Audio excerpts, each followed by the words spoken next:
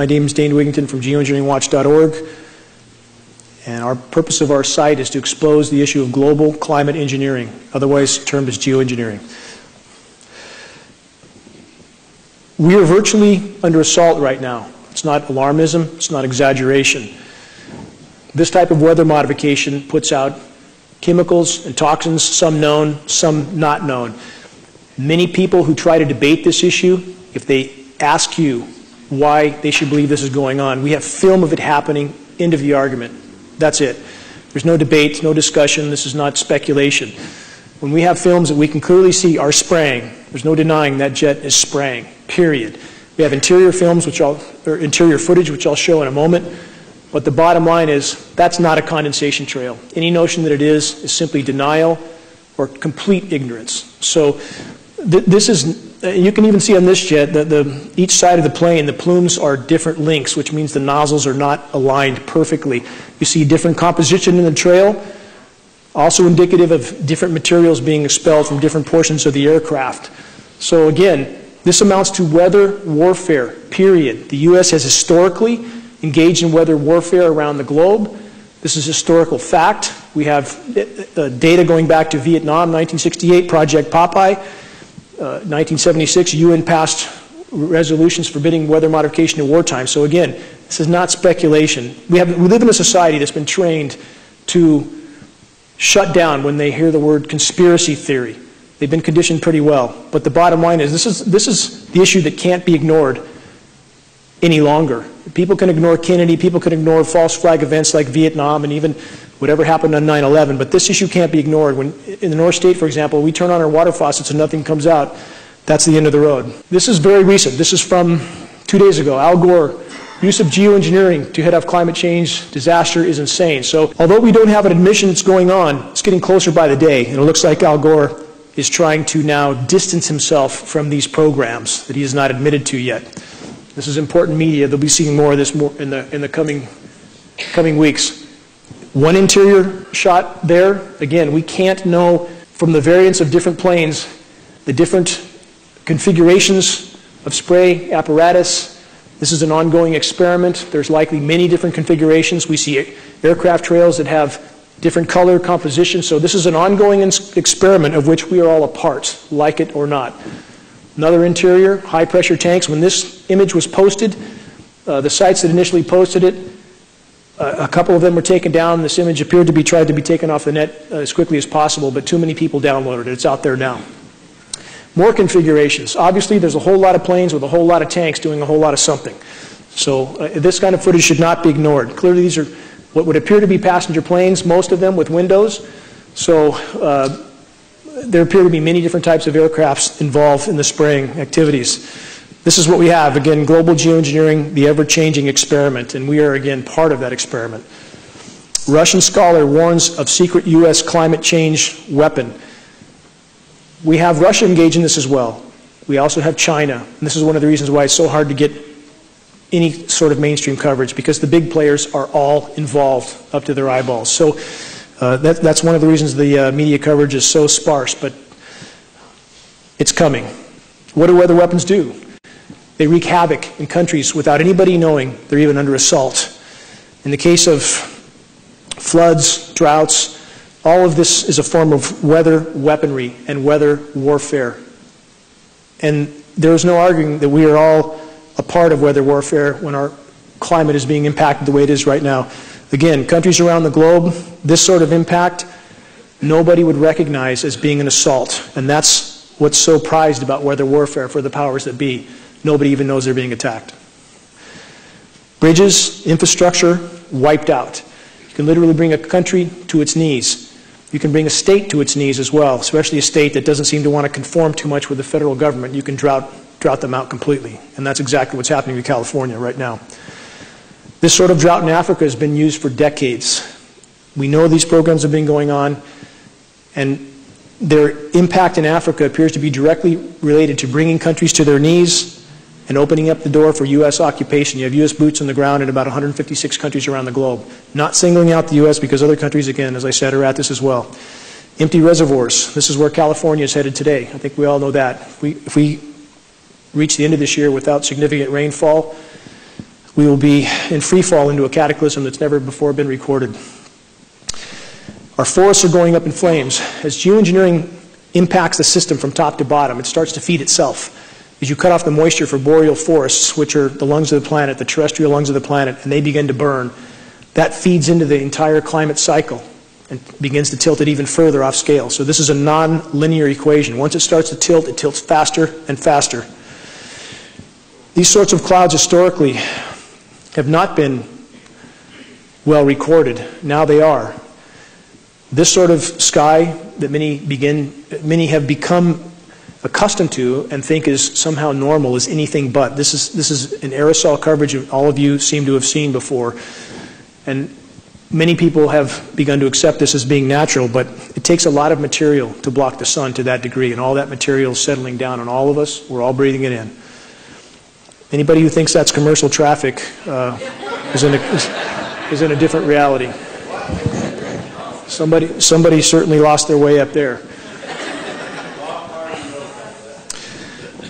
Another scene looks like something from another planet. Again, this is something that people, it's, it's come on so slowly that many accept this as being normal and natural when it's, it's anything but. One more scene that we, we see increasingly around the globe, especially in recent weeks and months. I'll explain why I think this is happening later, but the spraying is definitely increasing around the globe very rapidly, and the effects of that are being felt everywhere. Now, a sky like this is important to examine. Many people would think there's no spraying going on, but if you look closely, you'll see what looks like layers of plasma in the sky. Days with high pressure domes like we have now over California, this is not uncommon, especially if you look toward the west in the evenings. These shorter trails that are very bright are still aerosol disbursements. They make the sky silvery white. We believe that these sorts of disbursements are related to making the air more conductive, which makes the ionosphere heaters, HAARP, of which there are at least two dozen around the globe, major facilities and many other smaller ones, it probably makes them more effective to create these high pressure domes. So even days like this are aerosol uh, saturated skies still. This is a point I want to drive home again because it's imperative in conveying legitimacy with our issue. Semantics matter. It absolutely matters. When people Google chemtrail, this is what they come to, chemtrail conspiracy theory. I have friends with the Union of Concerned Scientists that have tried to clarify this definition by stating that this is a layman's term for geoengineering. When that correction is made, within minutes, it's erased and deleted. They watch this site very, very closely. They want people to Google chemtrails and come to conspiracy theory. On the other hand, if you Google climate engineering, in the first sentence it clarifies that climate engineering is in fact an application of geoengineering.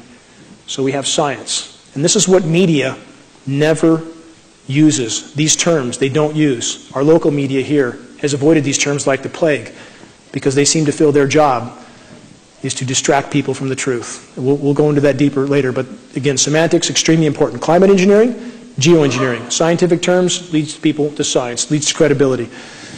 Who's running things? Psychopaths run the world. This is not an exaggeration. We have 4% of society is clinically psychopathic. That 4% ends up in positions of power, inevitably, because they'll do things that you or I won't do. So we have a, what appears to be a very small group of incredibly psychotic people that literally run the planet. And, and I would not have believed this 20 years ago, but uh, after that many years of research, you simply can't come to another conclusion. This document's important. It's only the cover page. It's on the cover of Geo, this site can be found at geoengineeringwatch.org, this document from 1966 it's a presidential document by NASA outlining the U.S. weather modification programs as of 1966 with budgets in the hundreds of millions of dollars even then, listing the agencies involved, DOD, DOE, uh, Department of Interior, about a dozen universities. This is the biggest elephant in the room. This document, again, can be found. I found it on the NASA archive, so it seems somebody put it there for me to find. So we have the proof. U.S. military wants to own the weather. Why wouldn't they? Many people ask, why would they want to control the weather? Why wouldn't they? It's what they do. They want to control everything. The weather is the, the, the most destructive weapon they could control. And, and, they, can, they can conquer countries, again, without anyone knowing they were even at war. These little bright dots you see here are smaller radio frequency transmitters of which there is an unknown number that appear to be a part of these programs. It's not just the major facilities like HAARP. You have a great deal of smaller facilities there too. Stealth terror, weather warfare, and the end of America. Again, weather modification is a very covert weapon that you can that rulers can use against their own populations to keep them in conformity. We seem to be immersed in that right now in California. Weather warfare, beware the U.S. military's experiments with climatic warfare. Yet one more warning. Uh, this is, there's ample documentation on the ongoing weather warfare, even from diplomats from other countries. Here you have Iran. Vice President claims country's drought is part of the West weather war on the Islamic Republic. You've had also the president of Iran on the floor of the UN twice trying to raise the alarm that his country was a victim of weather warfare. Our media does not cover it. Global warming drought linked to weather warfare. This has been going on in Africa, as I stated, for a number of decades. The more they spray, the less it will rain overall. It's important to remember that. We're not talking about cloud seeding to create rain. The more aerosols there are in the atmosphere, the less it will rain overall. Yes, you'll have deluges from moisture that wads up in some place and comes down because of a lot of convection, but overall, it diminishes global precipitation. 15 military leaders who say climate change is a national security threat. Of course, it's a national security threat, especially when you're engaged in covert, covert warfare with countries around the globe, literally ripping the climate apart. It's bound to become a problem. Shouldn't take a rocket scientist to figure that one out. Russia urges UN climate report to include geoengineering, and they did. The IPCC last September included geoengineering in their report, finally, not admitting it's going on, but now the lump is a little bit too big to fit under the rug. And it seems Russia, at least for reasons that we can speculate on, is trying to shine some light on this issue, perhaps because they're realizing that if these programs go on, the whole ship goes down. U.S. climate change procedure based on UN's geoengineering governance and technology policy. This is just one of many documents that outline the global governance of geoengineering. None admit these programs are going on, yet we see the full apparatus for their governance. There should be one more red flag that these programs exist. Public engagement on solar radiation management and why it needs to happen. You do have some now in academia who've shown enough spine to decide that the public should know. What a novel idea. That we should know we're being sprayed like lab rats. So at least we have a few starting to speak out. Global warming versus climate change. This is also important. The term climate change came into play in about 1998 when we had the warmest year on record. And because I believe at that time the global power structure decided it would unleash the full scope and scale of geoengineering, they needed a term that would condition people to accept massive temperature fluctuations like 50, 60, 70 degrees in a single day. Thus, the term climate change came into play. And it is a term, again, to try to condition people to accepting massively geoengineered weather systems with massive temperature fluctuations that is more related to geoengineering than it is to climate, to global warming. So they changed the term. A brief history of false flag attacks.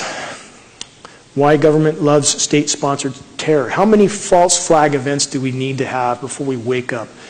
Vietnam, the Gulf of Tonkin was a false flag event. We have a dozen other false flag events. This is business as usual.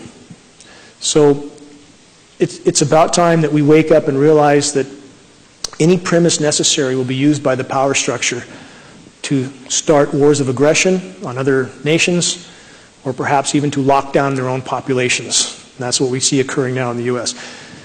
How do you pay for all this? A lot of people ask that question as if it's taxpayer money. Those with the printing press can pay for whatever they want until nobody accepts what they print. This is a recent release $8.5 trillion unaccounted for by the Pentagon since 1996. That amount is almost equal to the, actually, it exceeds their total budget amount that we know of for that time. And this is, this is only perhaps part of what we don't know about either. This is not necessarily the whole thing.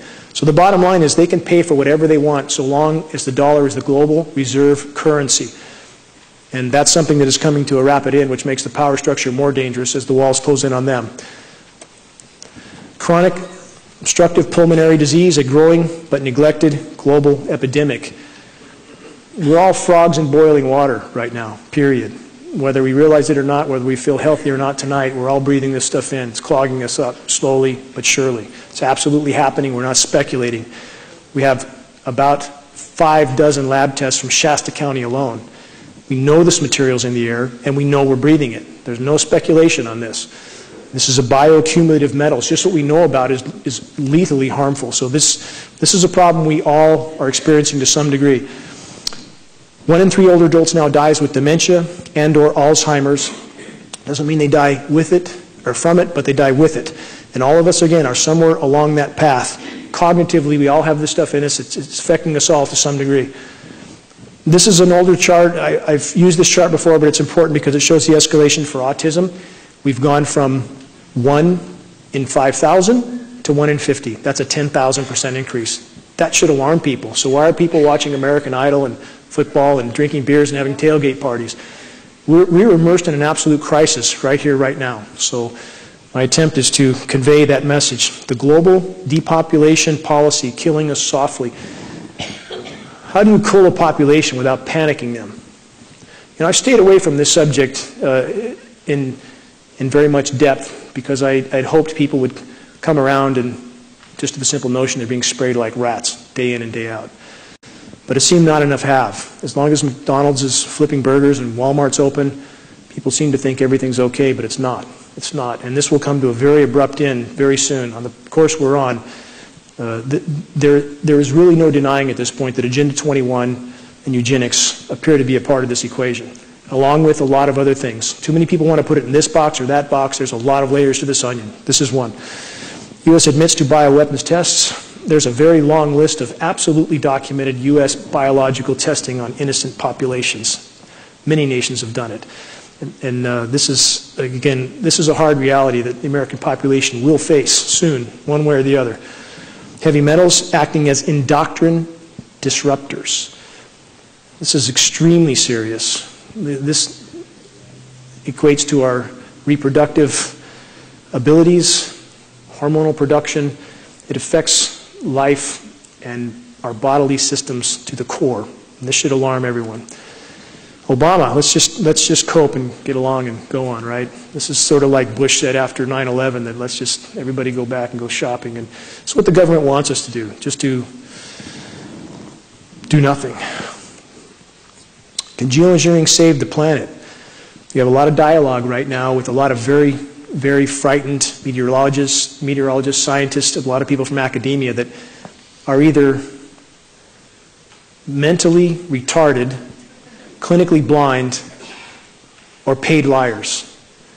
There's no chance that anybody with a high double digit IQ doesn't know what's going on up there. And I've talked to a lot of people from academia, I know a lot of them. A lot of them know, and they're scared. They're very scared. I had NOAA scientists a year and a half ago tell me off the record they're, quote, alarmed as hell. They don't know what to do about it because they have no First Amendment protection. So any notion that geoengineering can save the planet, we already know the answer. Geoengineering is killing the planet.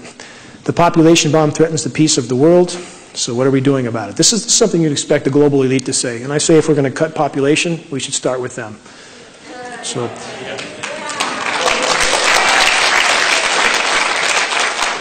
And this is their, their motto, the eugenics, the foundation of globalness, globalists. It, it, it's always been the case. We have David Rockefeller on the record stating that 95% of the population needs to go. And a lot of people have never seen these quotes, but they exist. So it, it, it, should not be hard to connect the dots here. And at this point, we are all not only expendable to them, but we are a liability to them. Something we need to remember. Plankton, the base of ocean food web in big decline. There's a lot of ways to cool populations. When populations don't have anything to eat, they tend to die off. And right now, plankton stocks globally are about 50% declined. This, this is of immense importance. Plankton produces 50 to 60 percent of Earth's oxygen supply. Media is not reporting on this. What, what do they report on? On CNN, they'll grab some drama out of a hat, of which they probably have a thousand more just like it. And we'll hear, hear about one or two dramas for the course of weeks on end. While we have the house literally burning down. No plankton, no fish. We had the Anchovy fleet returned to North, uh, the Pacific Northwest with no fish, zero, this last fall. So uh, the, the food chain is breaking down right now. We're seeing marine life wash up on the shores of western North America, now in Texas. Some of this may be related to Fukushima radiation, but I think at this point still the majority related to a food chain that's collapsing. The bees, what about the bees? Is it farm chemicals? If it's farm chemicals, why are the bees just as dead a thousand miles into the wilderness? Try to tell people this that are in the bee community. I've tried. Most won't listen. I've tried, I've talked to some of the head people in the country. They want to stay in their cocoons. They've been taught and trained that unless it says in their peer-reviewed, establishment-approved manual that it's, there's something going on in our skies, then it literally doesn't exist in their reality. The bee collapse disorder appears to be most directly related to geoengineering and the radio frequency signals. One more article, A World Without Bees. Einstein said, four years after the bees disappear, so will humans. We're on that track now. Now. There are so many directions that the walls are closing in in, in factors that lead back to geoengineering. So many roads lead back to geoengineering. Statewide king salmon decline points to outside forces, yet again, that I've just made, named. When you have no basis to the food supply, when you have an ozone layer that has been torn apart by these programs, excessive UV killing the plankton, food chain collapses. Right now, global pelagic fish populations are down 95%. It's not going to be long before there's nothing caught out of the sea. That's hard fact. Species extinction rate. If you can see the graph there, it goes almost straight up. I've been over this figure before, but it's important to repeat. We're losing about 200 species a day. 200 a day going extinct. You hear a lot of people say that, well, that's normal. Species go extinct. That's 10,000 times normal. It's 10,000 times the background rate. Nothing normal about that. This is something that most of you probably haven't seen. It looks like a golf course. It's actually algae. This is the ocean. And you see people up on the beach behaving as if nothing's wrong. This is in China. Massive algae blooms are literally matting the ocean several feet thick. Those oceans are dead. They're dead in those regions. You don't get this sort of growth otherwise. Our media doesn't cover these sorts of things. It is literally ecosystem collapse. These dots are all dead zones. There's over 400 dead zones around the planet right now, some as big as 10,000 square miles. These are anoxic zones where there's no oxygen in the water. Everything dies. These zones are expanding. Again, media is not covering this. Massive fish die-off around the globe. This is just one scene of too many to even begin to show. And this is the sort of thing that all of us should be focused on. We, we, will focus on it when there's nothing left to eat, but if, if we can be ahead of that before we reach the point that there's nothing left, maybe we'll have something to salvage. Acid test, rising CO2 levels kills ocean life. We have the oceans absorbing CO2. There's no question about this. They're acidifying rapidly. Crustaceans can't form shells as well. And you have an acidification that could kill all ocean life. Again, no, no life in the ocean, no terrestrial life. This is a very important graph. Change in Earth's total heat content. I want to stress, none of this is about Al Gore or carbon credits. I, I say that every time. I, I, I have great disdain for Mr. Gore. He's part of the problem. But that being said, make no mistake about it, the planet is warming. And any of these geoengineered events that we see that convince people otherwise are simply spun, horribly spun events. And this is what it's important to remember about that. The blue graph you see is ocean heat content compared to atmospheric heat. A cubic meter of seawater holds 4,000 times the thermal energy of a cubic meter of air. So it doesn't matter what they do geoengineering-wise. They can cool off temperatures at the surface. It means nothing compared to what's happening in the oceans. The oceans are warming extremely rapidly. Can't hide that for very long.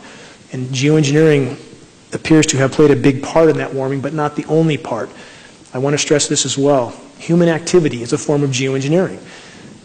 When you put 4 billion barrels, gallons of hydrocarbon in the atmosphere a day, that's a form of geoengineering. People need to consider that.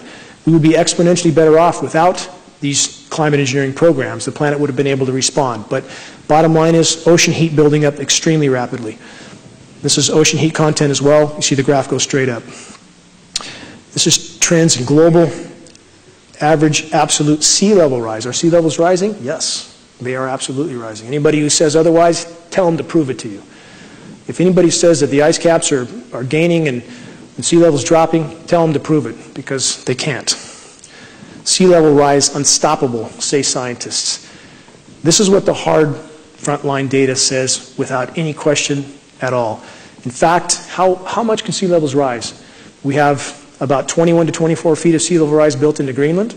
We have about 197 feet built into Antarctica, about another 15 feet built into the rest of the world's glaciers. Right now, even conservatively from some of the frontline scientists, we're guaranteed 100 feet of sea level rise in the coming decades. Now, you'll find plenty of data to dispute that, but it's the same people that dispute how much oil was leaking from the Gulf, how much radiation we're being exposed to here. You must discern through this data because there is so much false data out there, people don't know what to think. Annual minimum Arctic sea ice. A lot of headlines last fall that the sea ice was expanding. Wait the next two years, see what, what you see, because that was absolutely spun as well. It was the surface area that they measured, not the density, not the volume. The volume is still shrinking rapidly. It's one-fifth what it was 30 years ago.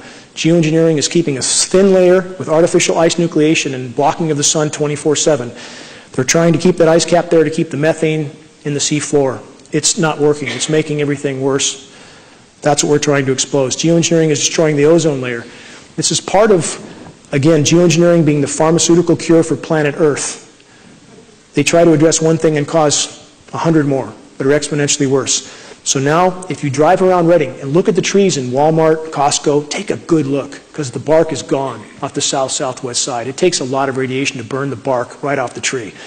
We're being exposed to massive amounts of UVB and even UVC radiation now. UVC is the last stage before X-ray. We know this. We're metering it on the ground in California, Maine, Florida, and New Mexico. This is a penetration of UVB into the ocean. I talked about plankton dying, correct? Geoengineering, on the, on the shredding of the ozone layer, we've been told it was hairspray cans. Now, I, I ask you, what's more logical? Is it hairspray cans or military tankers dumping 100 tons at a shot up there, flying 24-7? They've been at this since at least the late 40s. We've been given a lot of red herrings for, uh, as reasons for things that are happening. CFCs are bad for the atmosphere, but the geoengineering appears to be the largest causal factor, so the UV penetrates deeper into the ocean, kills the plankton, plankton stocks die, oxygen content goes down, fish stocks die. You can see how everything is connected. Everything's linked together. This is deviation from normal temperature map. This is over 30, or this is, excuse me, this is between 2008 and 2012. And the, the orange-red colors show increases from the 30-year average over that time. You see a couple of blue spots in Antarctica, um, but that's about it. So this is the overall, this is the true overall global picture. You see, you see some blues off the coast of North America, if you look at that. That's where they blanket spray 24-7, shuts off our moisture. This isn't the first year drought, we're in our sixth year drought. So from 2008 to 2012, they blanket sprayed the Pacific, we think in an effort to stop El Nino, to stop the El Nino event from happening, because that would have made global warming even worse. But what does that do to the rest of the planet when you shut off one of its natural mechanisms? So that blanket spraying all over the Pacific, it cooled the surface temperatures off there. But at what cost? At what cost? If it's killing everything inland, is, was that really a gainer? I don't think so. Now this, this, is, this is a current map right now. This is through, uh, uh, excuse me. No, I'm sorry. This is an older map, but it shows a sequence. I'll show a newer one here. When you see a map that's that imbalanced, it should be a red flag. That's, that can't be created naturally, where you have half the country frying and another half below normal temperatures. So the darker colors are, are various stages above normal, the middle being maybe 20 degrees above normal. You throw a rock and you're in below normal temperatures. Another, this is a recent GIS map. Now, this is important to look at this map. As you see the blue colors over Canada and the eastern U.S., that's where heavy, heavy geoengineering is occurring. Geoengineering can and does cool massive regions temporarily at the cost of making the overall warming worse. So you have jet stream manipulation that pushes Arctic air down. You see when the Arctic is much warmer than Canada and the eastern U.S. So they can cool regions, make a lot of headlines. What's the real picture? That's the real picture. Global temperature records. Again, no downward trend there. Another GIS map, ocean temperatures, everything far above normal overall. If you look through the headlines and you start looking at global news, you'll find out it's a very different picture than our media is painting. And this is important to remember. Did the media originally paint the picture of global warming? Yes.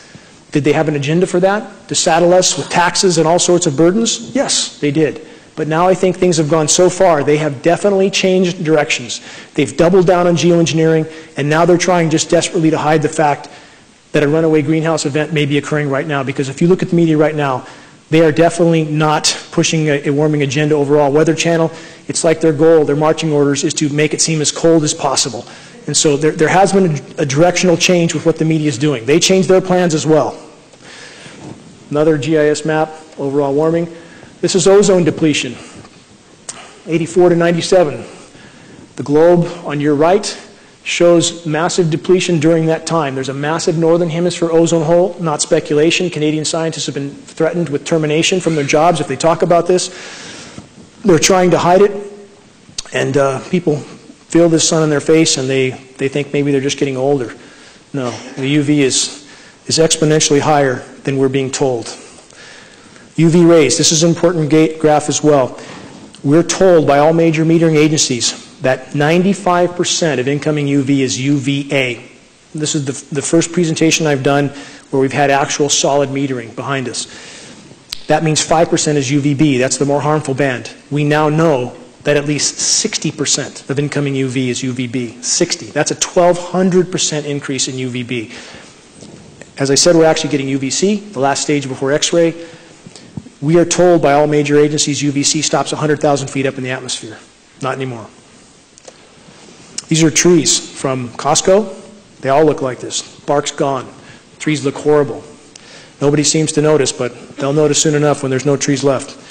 Dead branches sticking out everywhere. This is a typical stress response when trees have too much radiation. They start dropping branches, they start dropping foliage. We're seeing it all over the forest. Drought is only one issue. The, excessive UV is absolutely another. More trees from Costco, burnt bark. Well, this is the road we're on, and a lot more of our roads look like this now. When I moved up here 10 years ago, you couldn't find many.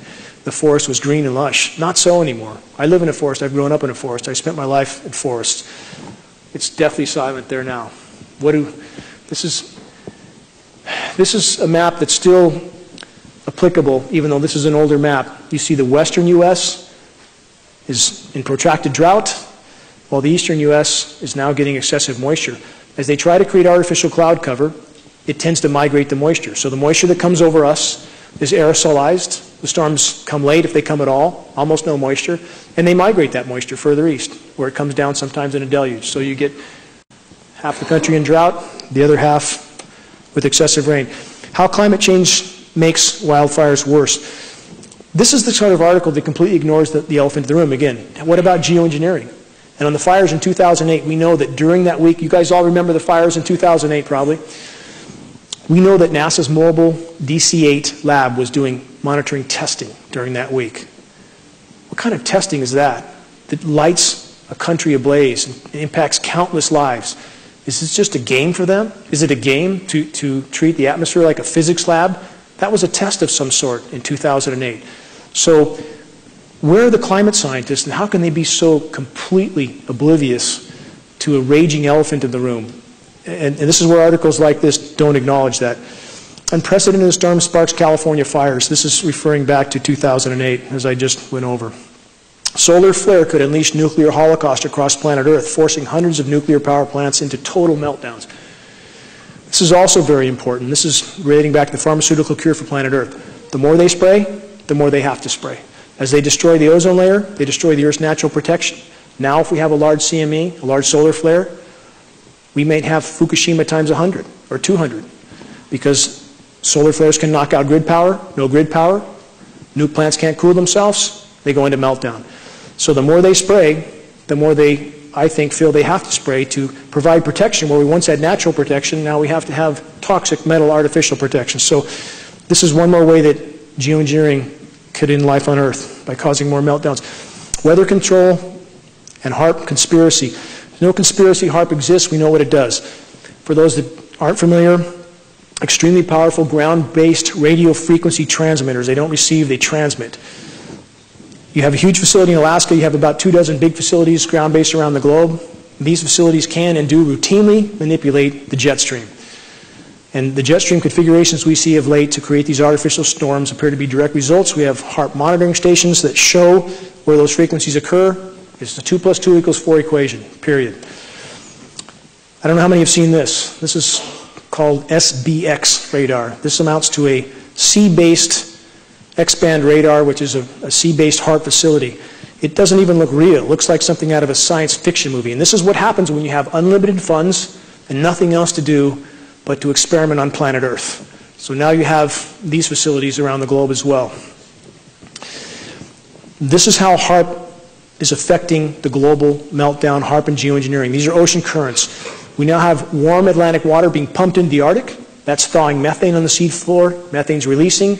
Methane goes into the atmosphere, covers the planet like a layer of glass, begins to heat things up fast. Methane, over a 10-year time horizon, is 100 times more powerful than CO2 as a greenhouse gas. Again, all roads, so many roads leading back to geoengineering. Not to say that we don't have a problem otherwise. Not to say that human activity isn't a form of geoengineering, as I said.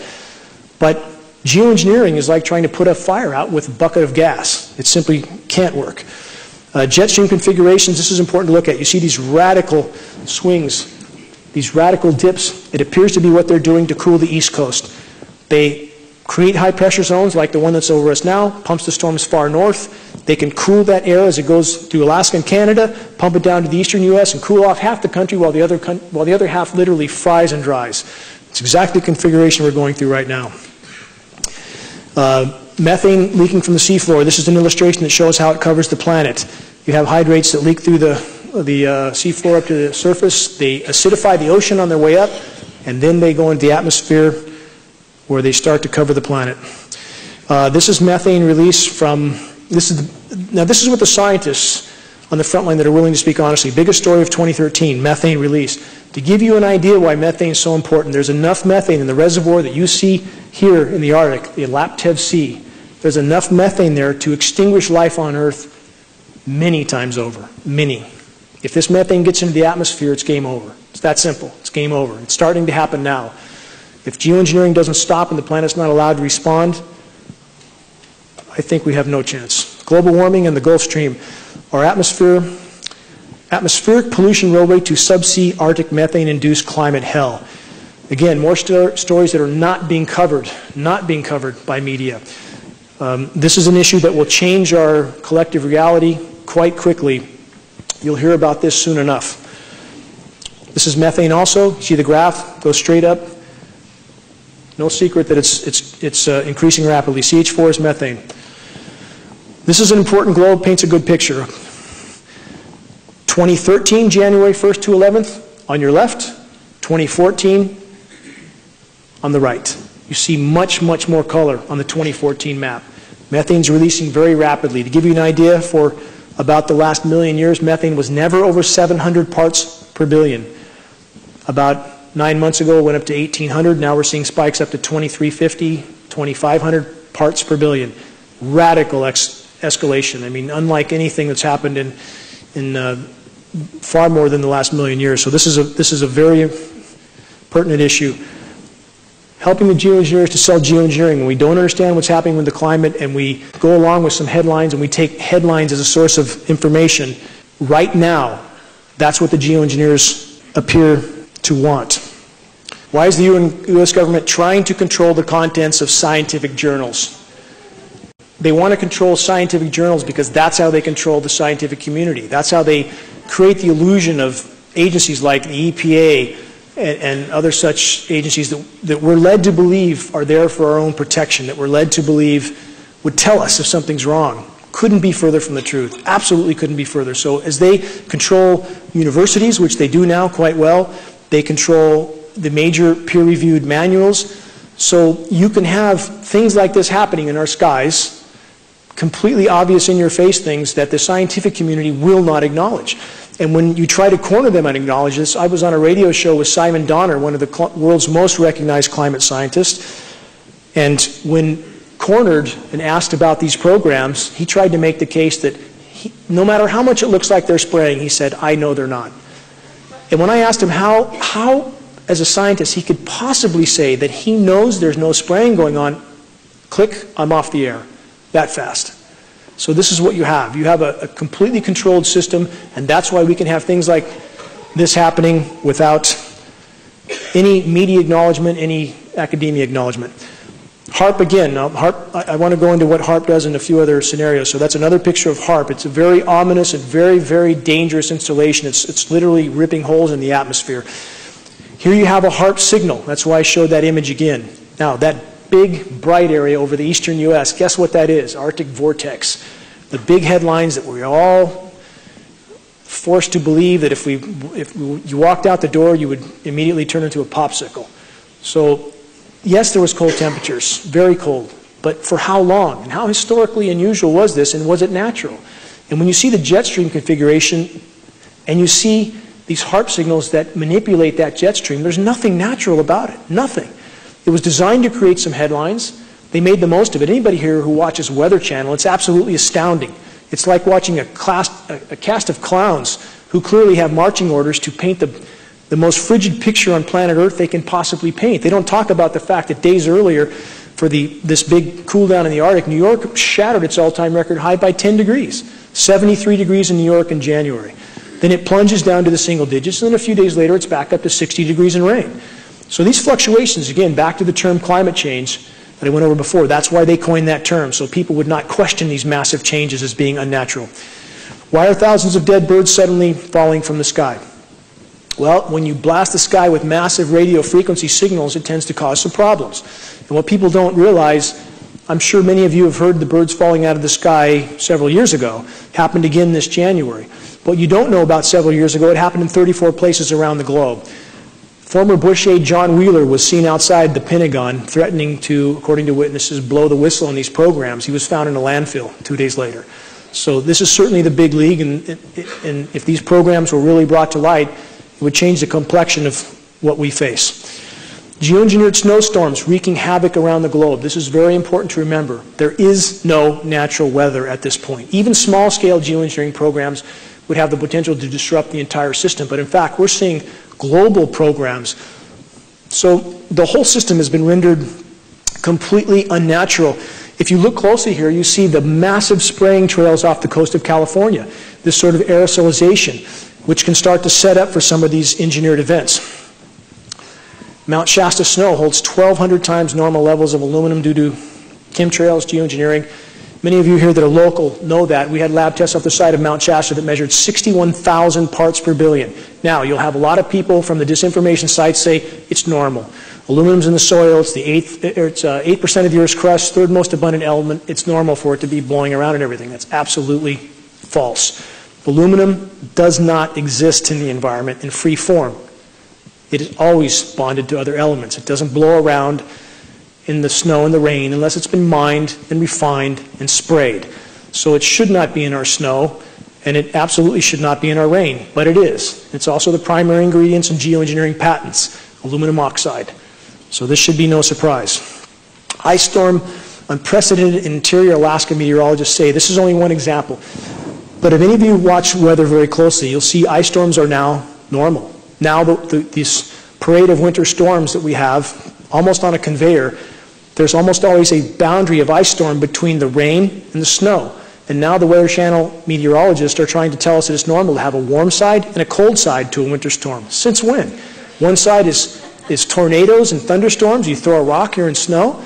There's nothing natural about this. Absolutely nothing. So the ice storms now are the boundaries between where they're trying to nucleate, and we can see the, the, the aerosol programs going on on radar, where they have not cooled the air down enough for this to crystallize while it's falling. It hits the ground before it sets up.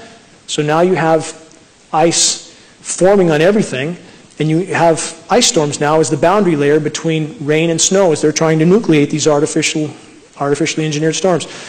Very theatrical names. Weather Channel now, this is part of the theater. This is part of, they've changed direction. Now they want to convince us of this horrible cold when it's anything but overall. Yes, they focus on a few areas, they hammer those areas again and again, they'll create a few snowstorms in the same place over and over while the rest of the world is going to meltdown. So this is their theatrical storm names here. Very unprecedented jet stream movements. You see configurations like that historically completely unnatural. It's how they push and pull air masses around. Now, this is typical of what we see in the, this parade of winter snowstorms in the east. Very high pressure in the west pushes the jet stream up and over us. We bake and dry out.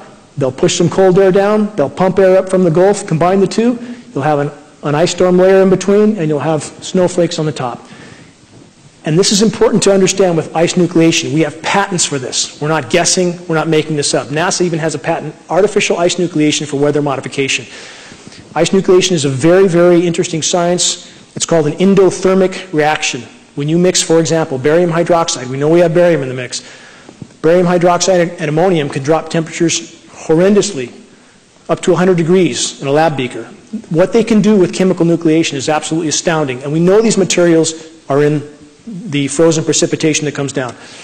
Another unnatural jet stream, again, this is how they create these artificial snowstorms. These are unnatural configurations. But part of the way they do this, again, if they allow the moisture to flow across us, across the Pacific, that's warmer moisture. It inhibits them from doing what they're apparently trying to do back east. I'm not saying this is the only goal for these programs, but it appears to be one. This is a great example of a nucleated snowstorm. I don't know how many of you heard of this. 100,000 cattle feared dead after early South Dakota snowstorm. October 4th, last year, up to 100,000 cattle died. How did that happen? When we had temperatures that were in the 40s. How do cattle from South Dakota die with temperatures in the 40s? When you have an endothermic reaction like I just described, how do you have snow at 56 degrees? This is right off the AccuWeather site. Did the laws of physics change?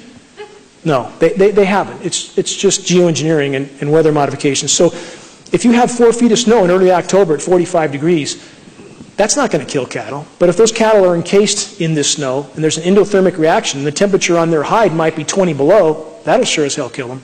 So we have an event that the media almost tried to sweep under the rug. There wasn't much coverage about this. What about the weird ice boulders that wash up in Lake Michigan? This just happened for the third time in, in as many years. This is historically unprecedented. 75 pound ice boulders floating all over the lake. How does that happen? It happens from artificial ice nucleation again. As that chemical reaction forms a nucleus, it tends to keep freezing all the way around it. So you end up with this, and the Weather Channel will explain this away. They'll, they come up with terms uh, that try to make the unnatural seem natural. So this is a phenomenon that we've just seen again a few days ago. This is an important map because this is the map for the snowstorm I just described in South Dakota that killed 100,000 cattle. Take a good look at that map. You can't find a map like this now because I, I, think things like this were so glaring that they try to keep this from happening. Weather channels change all their graphics so they don't have maps like this. How can 100,000 cattle die in South Dakota when you have temperatures of Chicago 85 degrees? You had, th this is from the same time, you had 89 in Kansas City. How can you possibly have an event like that? How is that possible? And it shows snow right there at 44 degrees, snow at 36 degrees. They don't put these maps out now because it's, it's pretty damn obvious and they know people are looking. Again, this is back to California, back to you and I and our families. This is about as unnatural a map as you could have. California looks like a target because it appears that it may in fact be. Three possible scenarios here. California's a climate sacrifice zone, which means for whatever they're trying to do back east, we simply are thrown under the bus. That's one scenario. Two, California's a target, perhaps bringing the agriculture to its knees, taking water rights.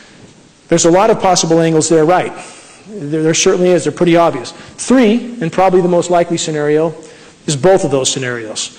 So we see something that's completely unnatural, flying in the west from a high-pressure dome, while the, other the rest of the country is cooler. Same thing. Now this is the map for our period right now. This map covers till the 23rd. I've never seen a map like this. 30 years of looking at meteorology, I've never seen anything like this. How can you have half the country virtually frying and the other half below? How is that possible? It's not possible based on historical natural weather patterns. This should alarm people. That's six tiers above normal. That indicates temperatures over half the country that are 15, 20 degrees above normal.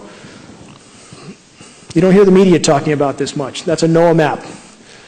Now, back to the rainfall. How does that happen? Most of the country you see with above normal rainfall another big bullseye right on California of no rain. The colors over California, that shading means increasing degrees of no rain. So here we have again, California looks like a target. Well, even Alaska has excessive rain.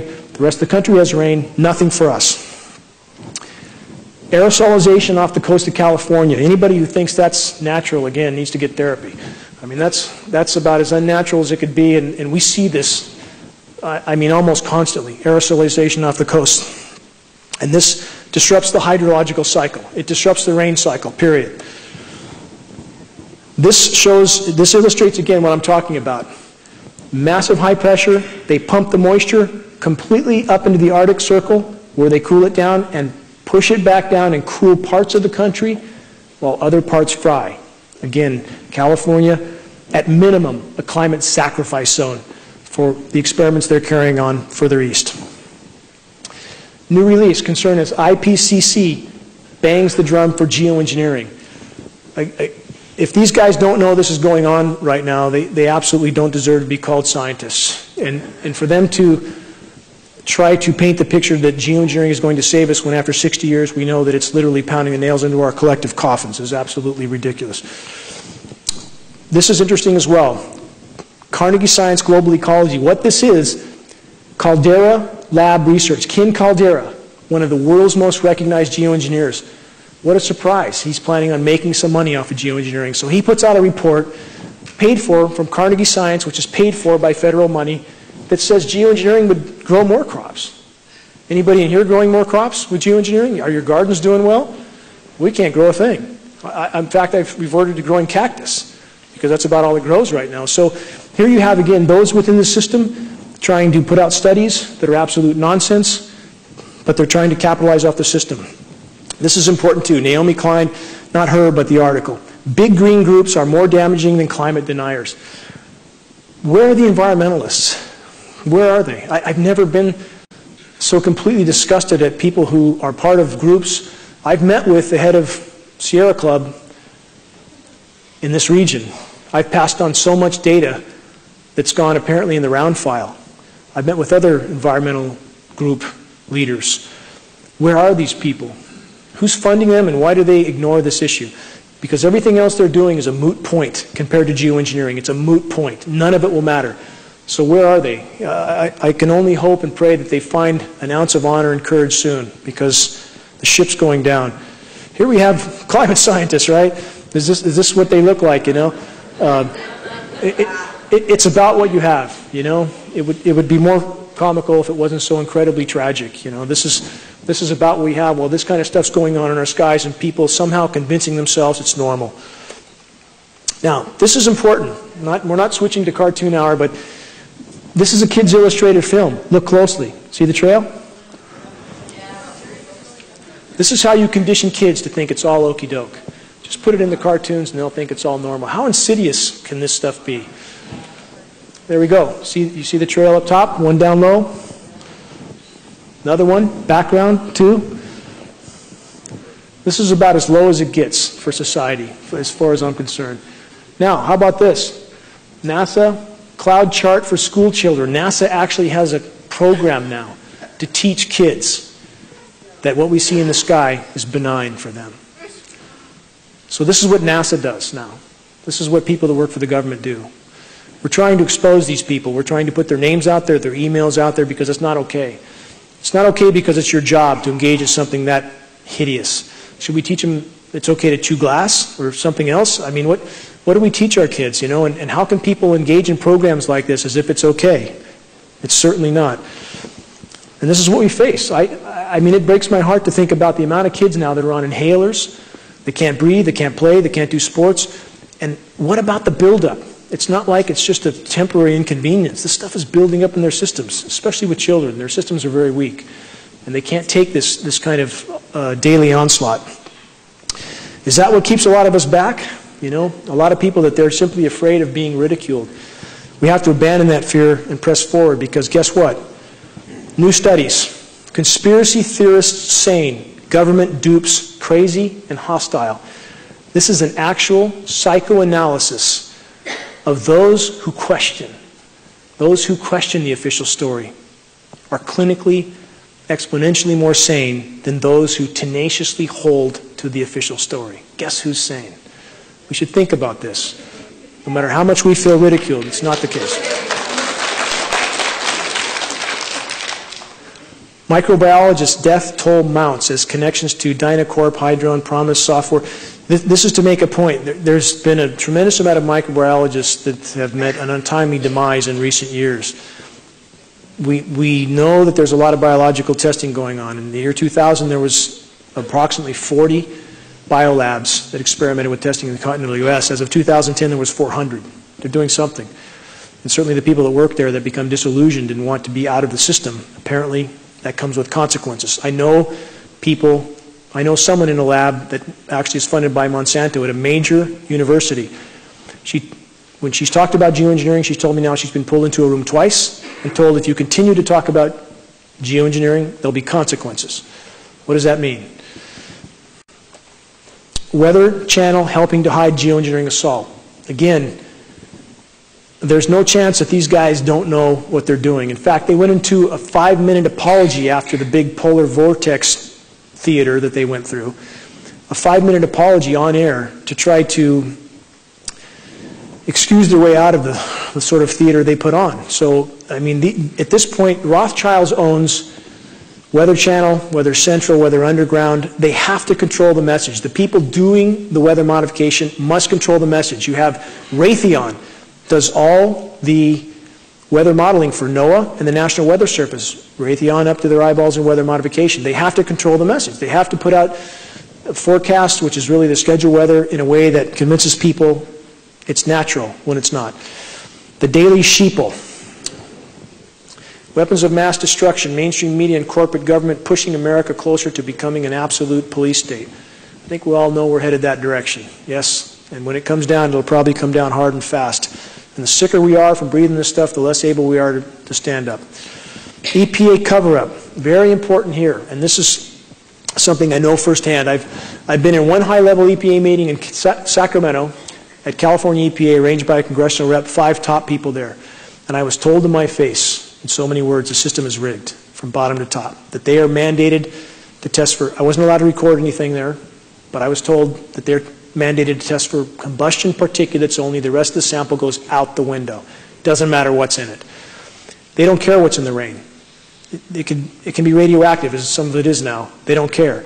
So again, the system is designed not to show this. They test for, if you're PM10 and PM2.5, the particulate matter they test for. We're talking about particulates that are exponentially smaller. They go virtually untested, virtually under the radar. So any notion that people, and you hear this excuse from people a lot, if this was going on, we hear about it, not true. Let's talk about our local media. The record searchlight. Drought, drought sure to bring changes. Now, this is a recent article. For eight or nine years, I've, I've certainly been screaming locally that the more these programs go on, the drier it's going to get. And here we are. And, and still local media, in many ways, seems to be doing its best to hide what's going on. Another Searchlight article, this is one I wrote from 2004. And still to date, they have not done any stories on geoengineering, climate engineering, nothing of the sort. So how is it we all know what's going on and media won't cover it?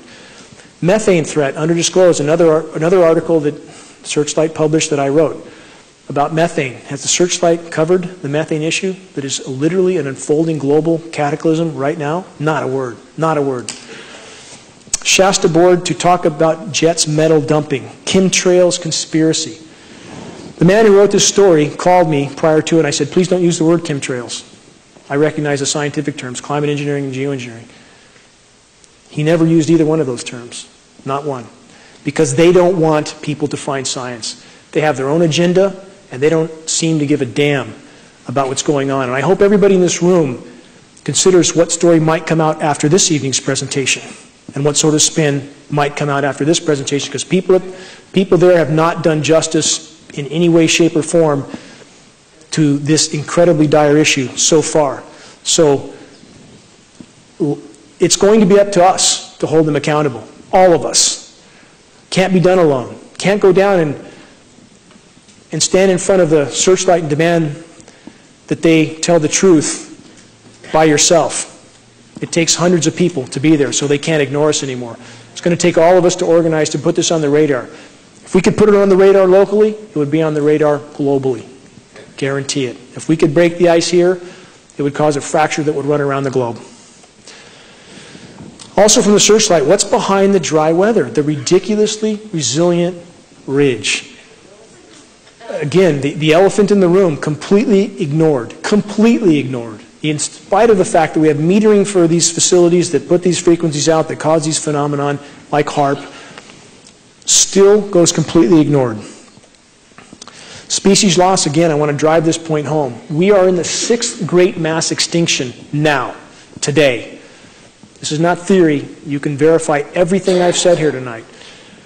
We are experiencing species extinction rate at a speed never seen short of Im meteor impact on planet Earth. We are in free fall right now. Does media cover this? No, they cover some little drama that they, again, they pluck out of a hat. Are we doomed? Why civilizations like ours fail? On the path we're on? Yes. Yes. If you rationally analyze data on the path we are on, we have no chance. And there are scientists now speaking out about this. Guy McPherson from University of Arizona is a professor emeritus there. I have high regard for Guy. He's a friend. And he has calculated right now with the decimation that's being inflicted on our climate, there will be no life left in the Northern Hemisphere in a very short time, perhaps even a few decades or shorter. And that doesn't mean that everything goes along fine until then. So we're talking about a very different planet. And you can find mainstream scientists that will argue this completely, but the same scientists who have lied to us again and again and again and again. Where would we start? So the bottom line is on our current trajectory, we are headed down a dead end with no return. We need to change course. This is important to remember as well. For people who, again, this is a teaching tool that we will put out for others so they understand that there are a lot of sources of, quote, human engineering of the planet. All the decimation that humanity has caused, and we've caused plenty, are still a form of geoengineering in a sense. It's, it's altering the dynamics of the planet. So it's important to remember this. Too many people want to put it in this box or that, as if if we stop geoengineering, we could all drive Winnebagos from now on. It's not the case. I'm not saying we wouldn't be in exponentially better shape without geoengineering because we would. The planet could respond, would compensate for a lot of the damage done. But it's important to remember that we're hurting the planet in a lot of ways. Is Fukushima an extinction level event? I'm almost near the end of this presentation, so bear with me. Yes, media is not covering Fukushima. How can that be? How can that possibly be? We have three reactors in Fukushima, and this is related to geoengineering. I'll weave the two together. Three reactors in full-blown meltdown in Fukushima. Burnt through the containment vessel. They're burning into the planet right now. There's no end in sight. There's no technology to deal with this. None. This radiation is coming our way. We've gotten, on the east side of Lake Shasta, 300 counts per minute of radiation about a week ago. It's about five times background. It's showing up all over the west coast. We have uh, 15 tuna that were tested off the west coast a year and a half ago, all of them radioactive. Why is the media not reporting on this? This should be a glaring red flag, just like the geoengineering. Anything that could make the population a little bit uncomfortable, media does their best to spin it or hide it. Uh, and this, as far as human insanity, and people say, well, this is another excuse you hear from people. Why would they do this to themselves? This can't be happening. They wouldn't do that to themselves. Well, why would they do this 2,000 times over? 2,000 nuclear bombs have been detonated on this planet, and everyone alive is contaminated from that. We all have strontium-90 in our bones from these nuclear detonations. Did these guys care when they went in the South Seas and virtually took whatever island they wanted, kicked the populations off, and set up big demonstrations of their power, like kids in a sandbox, like crazy kids in a sandbox? Did that stop them? They do whatever they want. They do whatever they want until someone says no. No. We've had enough. This should be a shining example. The nuclear detonations around the globe and the fact that they've done it wherever they wanted, almost whenever they wanted.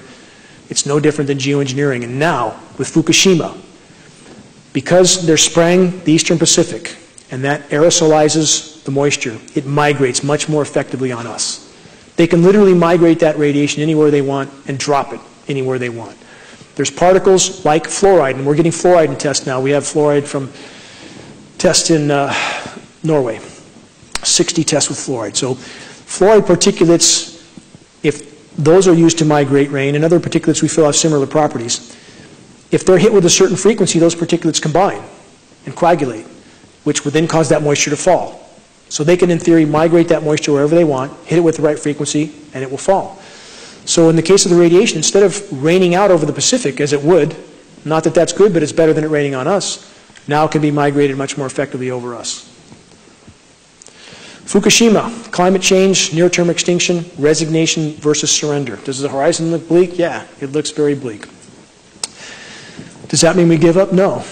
Does that mean we don't have any chance? No. We absolutely have a chance to radically change our direction. But a person has to resign themselves to the fact that we're not guaranteed a happy ending. None of us are. Never have been. Not at any point in time, ever. But does that mean we sit down and do nothing? For every, every time that people look at an issue like this and go home and go golfing the next day and, and watch football and, and ignore this until the next time they spray, and I get a lot of people that call me like that. They'll call about once a month when there's a very bad spray day, let off a little steam, that's the last I hear for maybe another month. And I've gotten to the point where I said, don't call me anymore. I don't want to hear it. What have you done in the last month to help? It's going to take all of us. This is not an issue that's going to go away. It's not going to go away. In fact, it's, they literally have their hands on our throat right now. They can shut off that moisture as long as they want. And I'm not speculating. We have study after study after study from places like MIT, Scientific American. I'm not making this stuff up. I challenge anybody to investigate it. When they aerosolize the atmosphere, causes drought, period. We have satellite photos. We know they're spraying upstream from us. It can't not be drought here, especially with the jet stream manipulations. This is a 2 plus 2 equals 4 equation. It's that simple. So when you have that kind of control over a population, you have them by the throat. They indeed have us by the throat. Something we all need to remember. Resource wars, geopolitics in a world of dwindling energy supplies.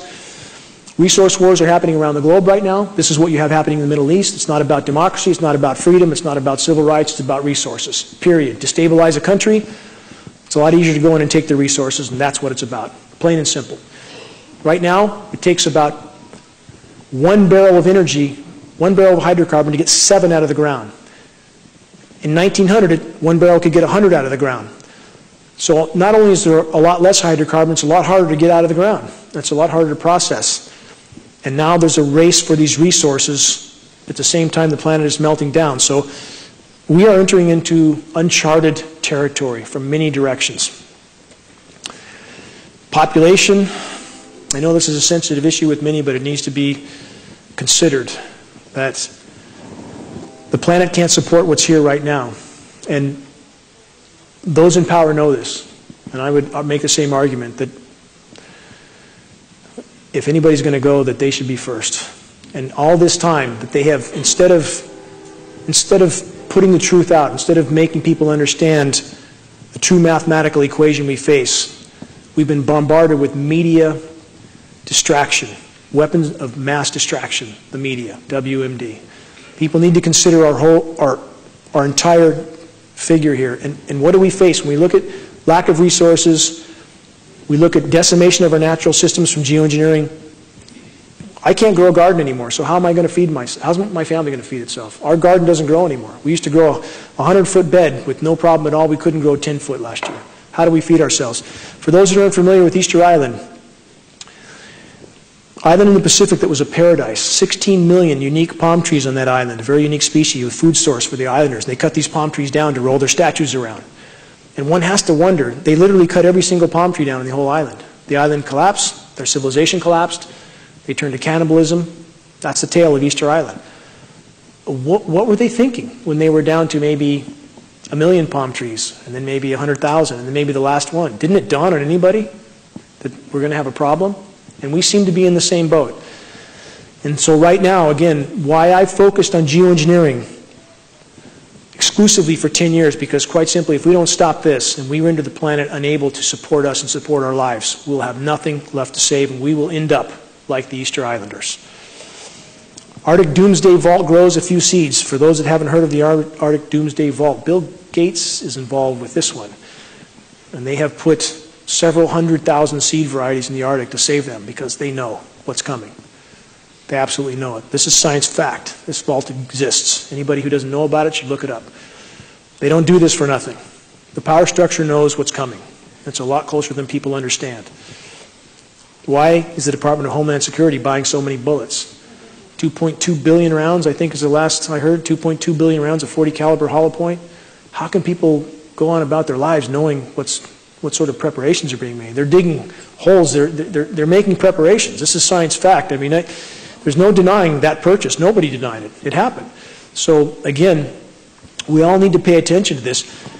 And the thing with geoengineering is for those who are involved with these programs, our military brothers and sisters, of which there's great people in the military, if we could all work together, if we could bring this to light, if we could expose this issue, those people our brothers and sisters in the military who are doing things that they don't understand the ramifications of. If we could reach them, I believe they would refuse to participate. I believe that that is our chance of stopping this issue because we need them on our side. We need them to understand what they're doing to their fellow citizens. That's where we all need to work together to bring this issue to light. This is clearly just a depiction, but I, I want to drive the point home. That's exactly where we're headed, and we're headed there fast. If we don't have an atmosphere that will support life, the atmosphere is as thin as a layer of paint on a basketball. It's the only thing that sustains our lives. To have this sort of experimentation going on above our heads every day and that tiny, very, very thin, fragile layer that is the only thing that protects us in an incredibly hostile environment, this will be the end result. It absolutely will be the end result.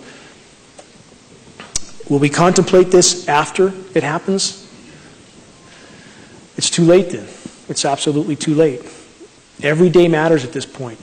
I want to stress this. This is a non-linear equation.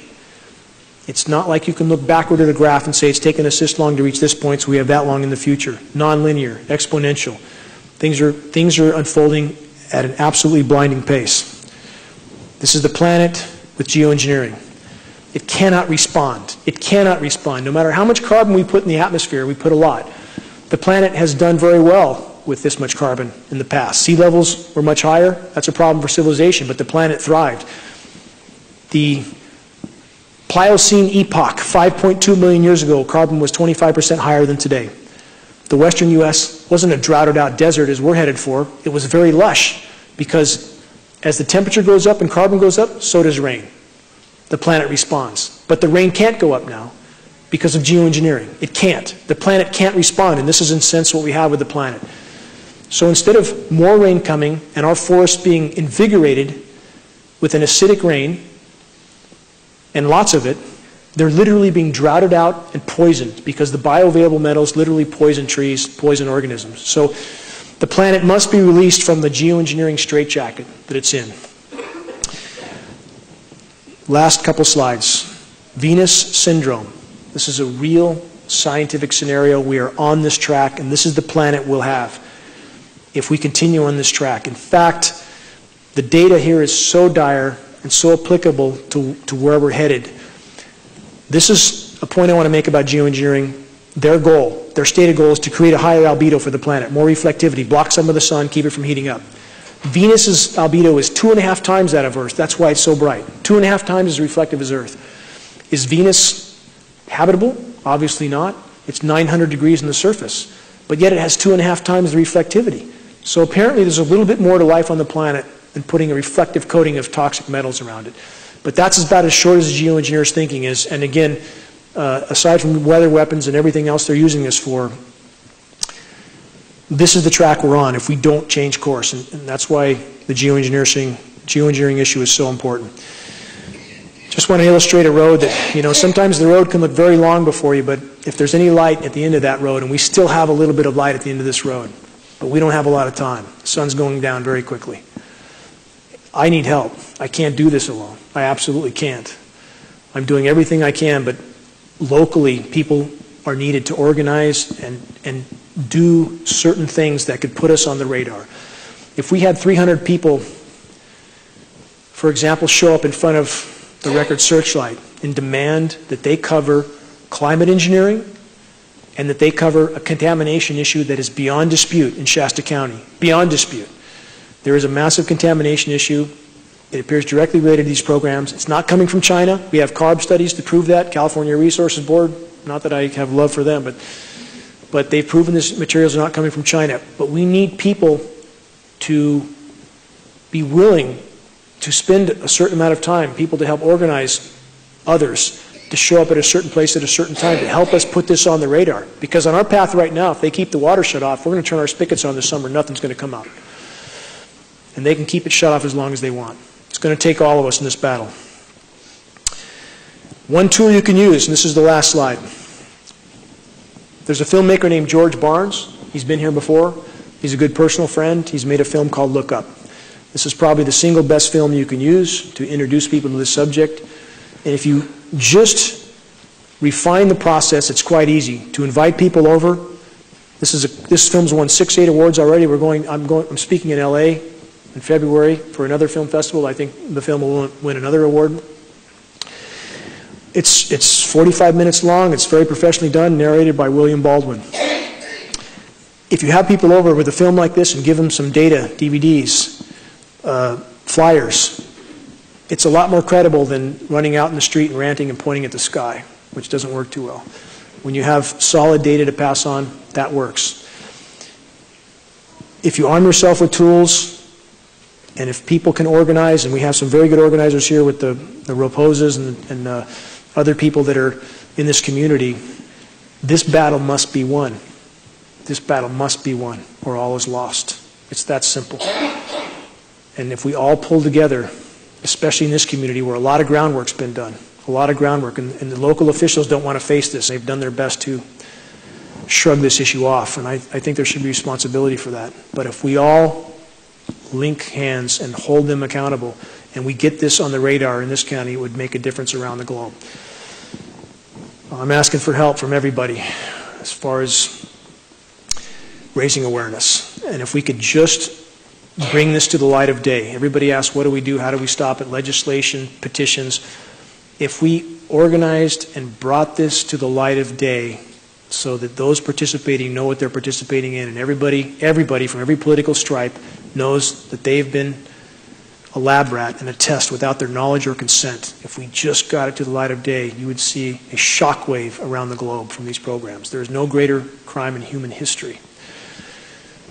I appreciate everyone coming tonight. I hope we'll all organize after this meeting. Instead of going home and writing this issue off as something we've covered, I hope people pull together and that we address this issue. Because if we don't, we don't have tomorrow. We literally won't. Our time horizon is, is short if we don't deal with this soon. Thank you very much.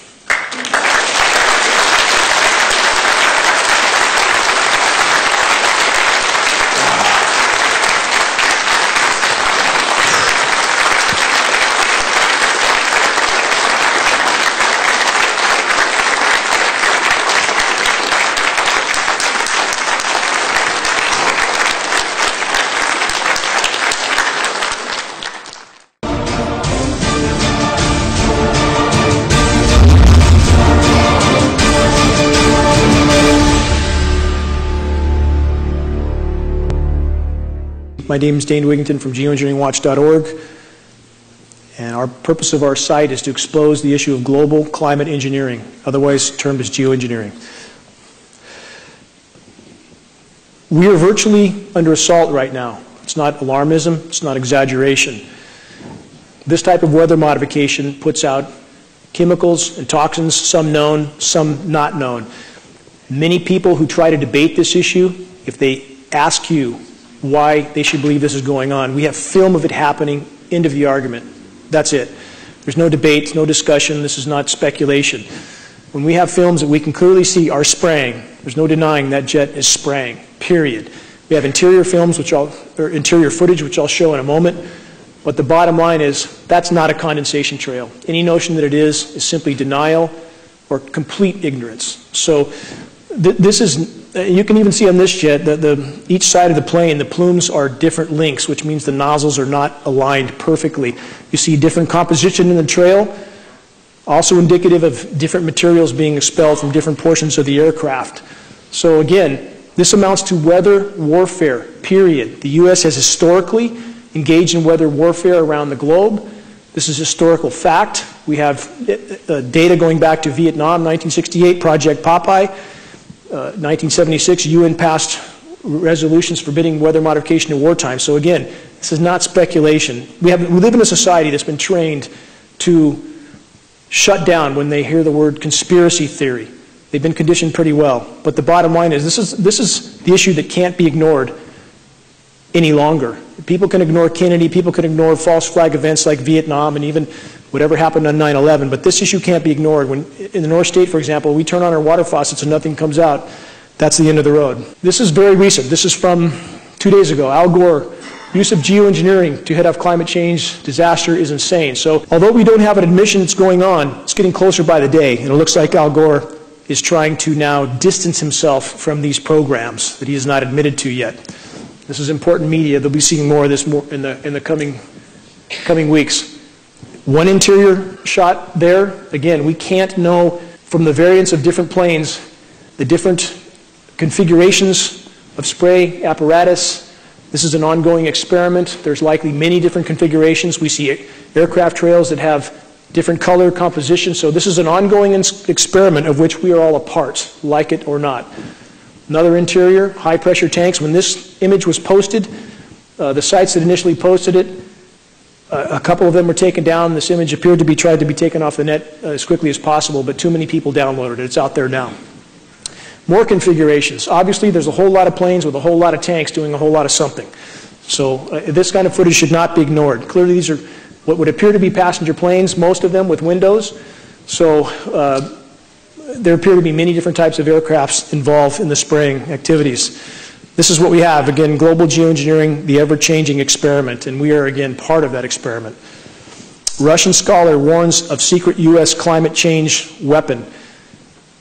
We have Russia engaged in this as well.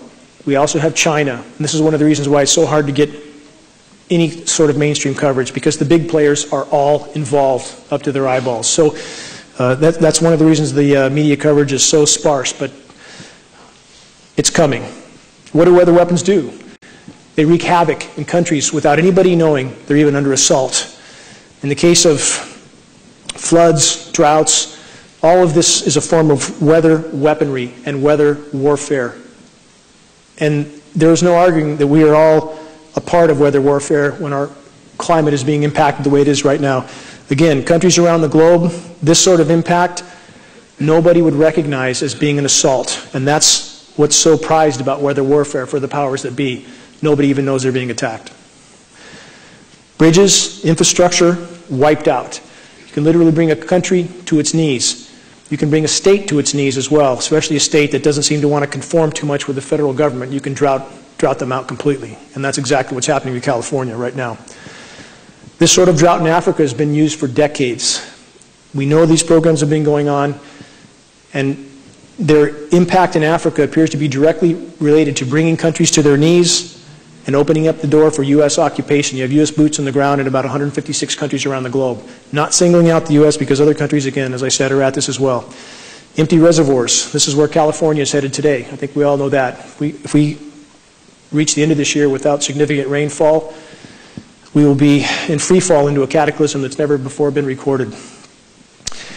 Our forests are going up in flames. As geoengineering impacts the system from top to bottom, it starts to feed itself. As you cut off the moisture for boreal forests, which are the lungs of the planet, the terrestrial lungs of the planet, and they begin to burn, that feeds into the entire climate cycle and begins to tilt it even further off scale. So this is a non-linear equation. Once it starts to tilt, it tilts faster and faster. These sorts of clouds historically have not been well recorded. Now they are. This sort of sky that many begin, many have become accustomed to and think is somehow normal is anything but. This is, this is an aerosol coverage all of you seem to have seen before. And many people have begun to accept this as being natural, but it takes a lot of material to block the sun to that degree, and all that material is settling down on all of us. We're all breathing it in. Anybody who thinks that's commercial traffic uh, is, in a, is, is in a different reality. Somebody, somebody certainly lost their way up there. Another scene looks like something from another planet. Again, this is something that people, it's, it's come on so slowly that many accept this as being normal and natural when it's, it's anything but. One more scene that we, we see increasingly around the globe, especially in recent weeks and months. I'll explain why I think this is happening later, but the spraying is definitely increasing around the globe very rapidly, and the effects of that are being felt everywhere. Now, a sky like this is important to examine. Many people would think there's no spraying going on, but if you look closely, you'll see what looks like layers of plasma in the sky. Days with high pressure domes like we have now over California, this is not uncommon, especially if you look toward the west in the evenings. These shorter trails that are very bright are still aerosol disbursements. They make the sky silvery white. We believe that these sorts of disbursements are related to making the air more conductive, which makes the ionosphere heaters, HAARP, of which there are at least two dozen around the globe, major facilities and many other smaller ones, it probably makes them more effective to create these high pressure domes. So even days like this are aerosol uh, saturated skies still. This is a point I want to drive home again because it's imperative in conveying legitimacy with our issue. Semantics matter. It absolutely matters. When people Google chemtrail, this is what they come to, chemtrail conspiracy theory. I have friends with the Union of Concerned Scientists that have tried to clarify this definition by stating that this is a layman's term for geoengineering. When that correction is made, within minutes, it's erased and deleted. They watch this site very, very closely. They want people to Google chemtrails and come to conspiracy theory. On the other hand, if you Google climate engineering, in the first sentence it clarifies that climate engineering is in fact an application of geoengineering. So we have science. And this is what media never uses. These terms they don't use. Our local media here has avoided these terms like the plague because they seem to feel their job is to distract people from the truth. We'll, we'll, go into that deeper later, but again, semantics, extremely important. Climate engineering, geoengineering. Scientific terms leads people to science, leads to credibility. Who's running things? Psychopaths run the world. This is not an exaggeration. We have 4% of society is clinically psychopathic. That 4% ends up in positions of power, inevitably, because they'll do things that you or I won't do. So we have a, what appears to be a very small group of incredibly psychotic people that literally run the planet. And, and I would not have believed this 20 years ago, but uh, after that many years of research, you simply can't come to another conclusion. This document's important. It's only the cover page. It's on the cover of Geo, this site can be found at geoengineeringwatch.org, this document from 1966. It's a presidential document by NASA outlining the U.S. weather modification programs as of 1966 with budgets in the hundreds of millions of dollars even then listing the agencies involved, DOD, DOE, uh, Department of Interior, about a dozen universities. This is the biggest elephant in the room. This document, again, can be found. I found it on the NASA archive, so it seems somebody put it there for me to find. So we have the proof. U.S. military wants to own the weather. Why wouldn't they? Many people ask, why would they want to control the weather? Why wouldn't they? It's what they do. They want to control everything. The weather is the, the, the most destructive weapon they could control and, and they, can, they can conquer countries again without anyone knowing they were even at war. These little bright dots you see here are smaller radio frequency transmitters of which there is an unknown number that appear to be a part of these programs. It's not just the major facilities like HAARP. You have a great deal of smaller facilities there too. Stealth terror, weather warfare, and the end of America. Again, weather modification is a very covert weapon that you can that rulers can use against their own populations to keep them in conformity. We seem to be immersed in that right now in California. Weather warfare, beware the U.S. military's experiments with climatic warfare. Yet one more warning. Uh, this is, there's ample documentation on the ongoing weather warfare, even from diplomats from other countries. Here you have Iran. Vice President claims country's drought is part of the West weather war on the Islamic Republic. You've had also the president of Iran on the floor of the UN twice trying to raise the alarm that his country was a victim of weather warfare. Our media does not cover it. Global warming drought linked to weather warfare. This has been going on in Africa, as I stated, for a number of decades. The more they spray, the less it will rain overall. It's important to remember that. We're not talking about cloud seeding to create rain. The more aerosols there are in the atmosphere, the less it will rain overall. Yes, you'll have deluges from moisture that wads up in some place and comes down because of a lot of convection, but overall, it diminishes global precipitation. 15 military leaders who say climate change is a national security threat. Of course it's a national security threat, especially when you're engaged in covert, covert warfare with countries around the globe, literally ripping the climate apart, it's bound to become a problem. Shouldn't take a rocket scientist to figure that one out. Russia urges UN climate report to include geoengineering, and they did. The IPCC last September included geoengineering in their report, finally, not admitting it's going on, but now the lump is a little bit too big to fit under the rug. And it seems Russia, at least for reasons that we can speculate on, is trying to shine some light on this issue, perhaps because they're realizing that if these programs go on, the whole ship goes down. U.S. climate change procedure based on UN's geoengineering governance and technology policy. This is just one of many documents that outline the global governance of geoengineering. None admit these programs are going on, yet we see the full apparatus for their governance. There should be one more red flag that these programs exist. Public engagement on solar radiation management and why it needs to happen. You do have some now in academia who've shown enough spine to decide that the public should know. What a novel idea. That we should know we're being sprayed like lab rats. So at least we have a few starting to speak out. Global warming versus climate change. This is also important. The term climate change came into play in about 1998 when we had the warmest year on record. And because I believe at that time the global power structure decided it would unleash the full scope and scale of geoengineering, they needed a term that would condition people to accept massive temperature fluctuations like 50, 60, 70 degrees in a single day. Thus, the term climate change came into play. And it is a term, again, to try to condition people to accepting massively geoengineered weather systems with massive temperature fluctuations that is more related to geoengineering than it is to climate, to global warming. So they changed the term. A brief history of false flag attacks. Why government loves state-sponsored terror. How many false flag events do we need to have before we wake up? Vietnam, the Gulf of Tonkin was a false flag event. We have a dozen other false flag events. This is business as usual. So it's, it's about time that we wake up and realize that any premise necessary will be used by the power structure to start wars of aggression on other nations or perhaps even to lock down their own populations. And that's what we see occurring now in the U.S. How do you pay for all this? A lot of people ask that question as if it's taxpayer money. Those with the printing press can pay for whatever they want until nobody accepts what they print.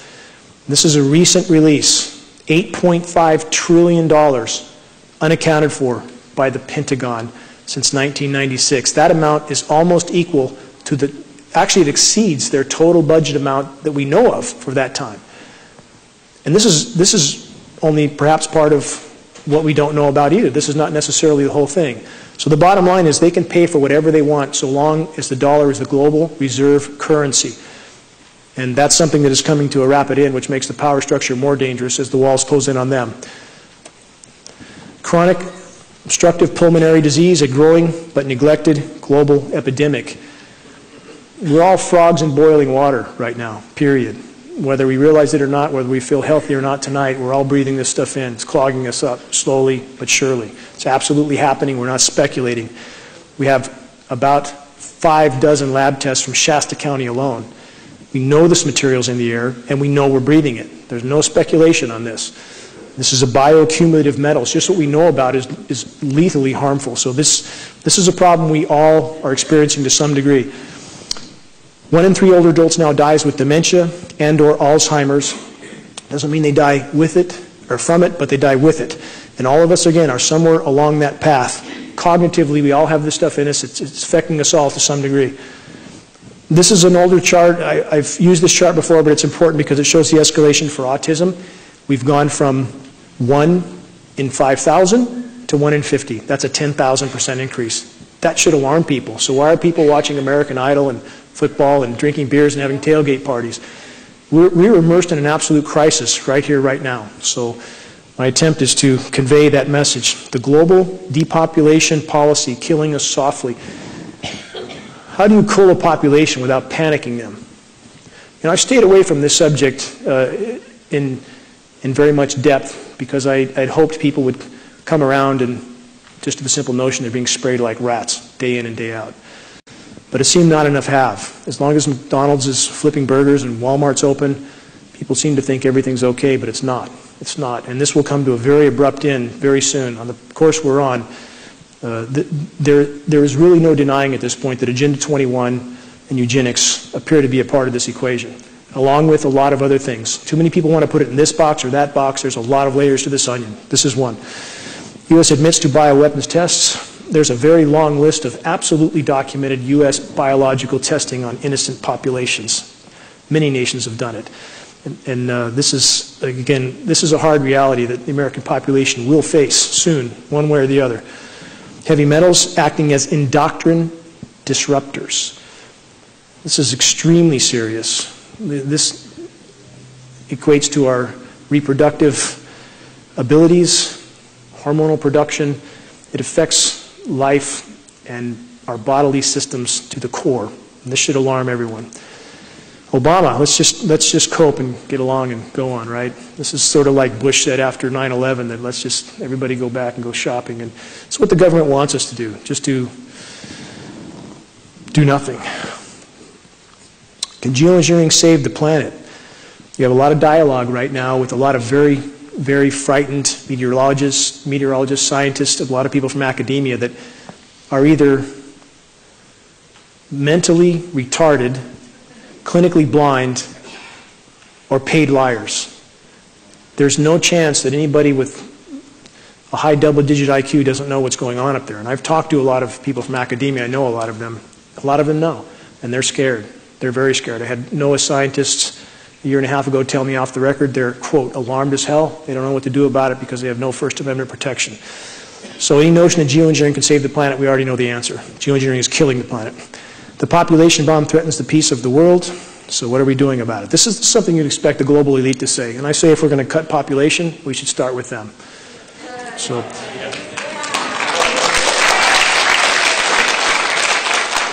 And this is their, their motto, the eugenics, the foundation of globalness, globalists. It, it, it's always been the case. We have David Rockefeller on the record stating that 95% of the population needs to go. And a lot of people have never seen these quotes, but they exist. So it, it, it, should not be hard to connect the dots here. And at this point, we are all not only expendable to them, but we are a liability to them. Something we need to remember. Plankton, the base of ocean food web in big decline. There's a lot of ways to cull populations. When populations don't have anything to eat, they tend to die off. And right now, plankton stocks globally are about 50% declined. This, this is of immense importance. Plankton produces 50 to 60 percent of Earth's oxygen supply. Media is not reporting on this. What, what do they report on? On CNN, they'll grab some drama out of a hat, of which they probably have a thousand more just like it. And we'll hear, hear about one or two dramas for the course of weeks on end. While we have the house literally burning down. No plankton, no fish. We had the Anchovy fleet returned to north, uh, the Pacific Northwest with no fish, zero, this last fall. So uh, the, the food chain is breaking down right now. We're seeing marine life wash up on the shores of western North America, now in Texas. Some of this may be related to Fukushima radiation, but I think at this point still the majority related to a food chain that's collapsing. The bees, what about the bees? Is it farm chemicals? If it's farm chemicals, why are the bees just as dead a thousand miles into the wilderness? Try to tell people this that are in the bee community. I've tried. Most won't listen. I've tried, I've talked to some of the head people in the country. They want to stay in their cocoons. They've been taught and trained that unless it says in their peer-reviewed establishment approved manual that it's there's something going on in our skies, then it literally doesn't exist in their reality. The bee collapse disorder appears to be most directly related to geoengineering and the radio frequency signals. One more article, A World Without Bees, Einstein said, four years after the bees disappear, so will humans. We're on that track now.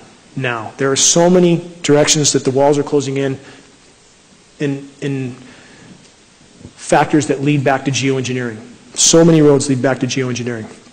Statewide king salmon decline points to outside forces, yet again, that I've just made, named. When you have no basis to the food supply, when you have an ozone layer that has been torn apart by these programs, excessive UV killing the plankton, food chain collapses. Right now, global pelagic fish populations are down 95%. It's not going to be long before there's nothing caught out of the sea. That's hard fact. Species extinction rate. If you can see the graph there, it goes almost straight up. I've been over this figure before, but it's important to repeat. We're losing about 200 species a day. 200 a day going extinct. You hear a lot of people say that, well, that's normal. Species go extinct. That's 10,000 times normal. It's 10,000 times the background rate. Nothing normal about that. This is something that most of you probably haven't seen. It looks like a golf course. It's actually algae. This is the ocean. And you see people up on the beach behaving as if nothing's wrong. This is in China. Massive algae blooms are literally matting the ocean several feet thick. Those oceans are dead. They're dead in those regions. You don't get this sort of growth otherwise. Our media doesn't cover these sorts of things. It is literally ecosystem collapse.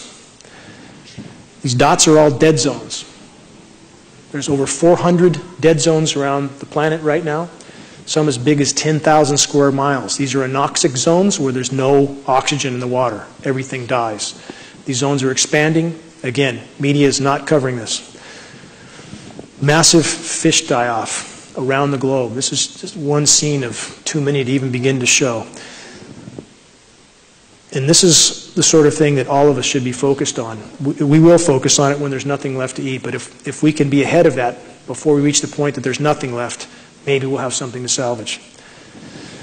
Acid test, rising CO2 levels kills ocean life.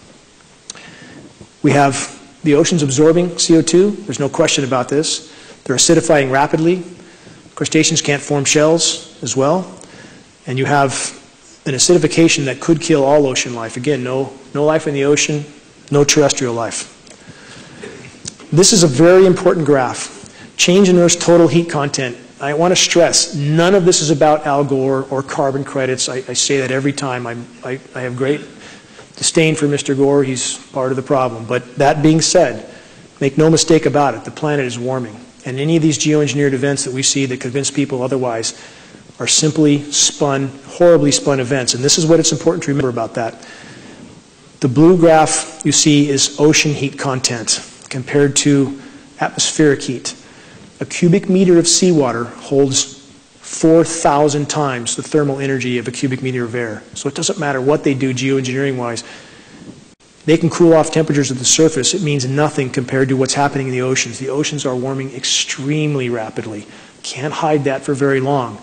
And geoengineering appears to have played a big part in that warming, but not the only part. I want to stress this as well. Human activity is a form of geoengineering. When you put 4 billion barrels, gallons of hydrocarbon in the atmosphere a day, that's a form of geoengineering. People need to consider that. We would be exponentially better off without these climate engineering programs. The planet would have been able to respond. But bottom line is ocean heat building up extremely rapidly. This is ocean heat content as well. You see the graph go straight up. This is trends in global average absolute sea level rise. Are sea levels rising? Yes, they are absolutely rising. Anybody who says otherwise, tell them to prove it to you. If anybody says that the ice caps are, are gaining and, and sea levels dropping, tell them to prove it because they can't. Sea level rise unstoppable, say scientists. This is what the hard frontline data says without any question at all. In fact, how, how much can sea levels rise? We have about 21 to 24 feet of sea level rise built into Greenland. We have about 197 feet built into Antarctica, about another 15 feet built into the rest of the world's glaciers. Right now, even conservatively from some of the frontline scientists, we're guaranteed 100 feet of sea level rise in the coming decades. Now, you'll find plenty of data to dispute that, but it's the same people that dispute how much oil was leaking from the Gulf, how much radiation we're being exposed to here. You must discern through this data because there is so much false data out there, people don't know what to think. Annual minimum Arctic sea ice. A lot of headlines last fall that the sea ice was expanding. Wait the next two years, see what, what you see, because that was absolutely spun as well. It was the surface area that they measured, not the density, not the volume. The volume is still shrinking rapidly. It's one-fifth what it was 30 years ago. Geoengineering is keeping a thin layer with artificial ice nucleation and blocking of the sun 24-7. They're trying to keep that ice cap there to keep the methane in the seafloor. It's not working. It's making everything worse. That's what we're trying to expose. Geoengineering is destroying the ozone layer. This is part of Again, geoengineering being the pharmaceutical cure for planet Earth. They try to address one thing and cause a hundred more that are exponentially worse. So now, if you drive around Redding and look at the trees in Walmart, Costco, take a good look because the bark is gone off the south-southwest side. It takes a lot of radiation to burn the bark right off the tree. We're being exposed to massive amounts of UVB and even UVC radiation now. UVC is the last stage before X-ray. We know this. We're metering it on the ground in California, Maine, Florida, and New Mexico. This is a penetration of UVB into the ocean. I talked about plankton dying, correct? Geoengineering, on the, on the shredding of the ozone layer, we've been told it was hairspray cans. Now, I, I ask you, what's more logical? Is it hairspray cans or military tankers dumping 100 tons at a shot up there, flying 24-7. They've been at this since at least the late 40s.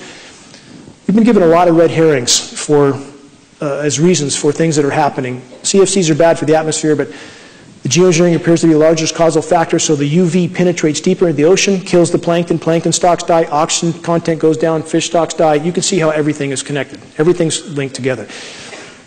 This is deviation from normal temperature map.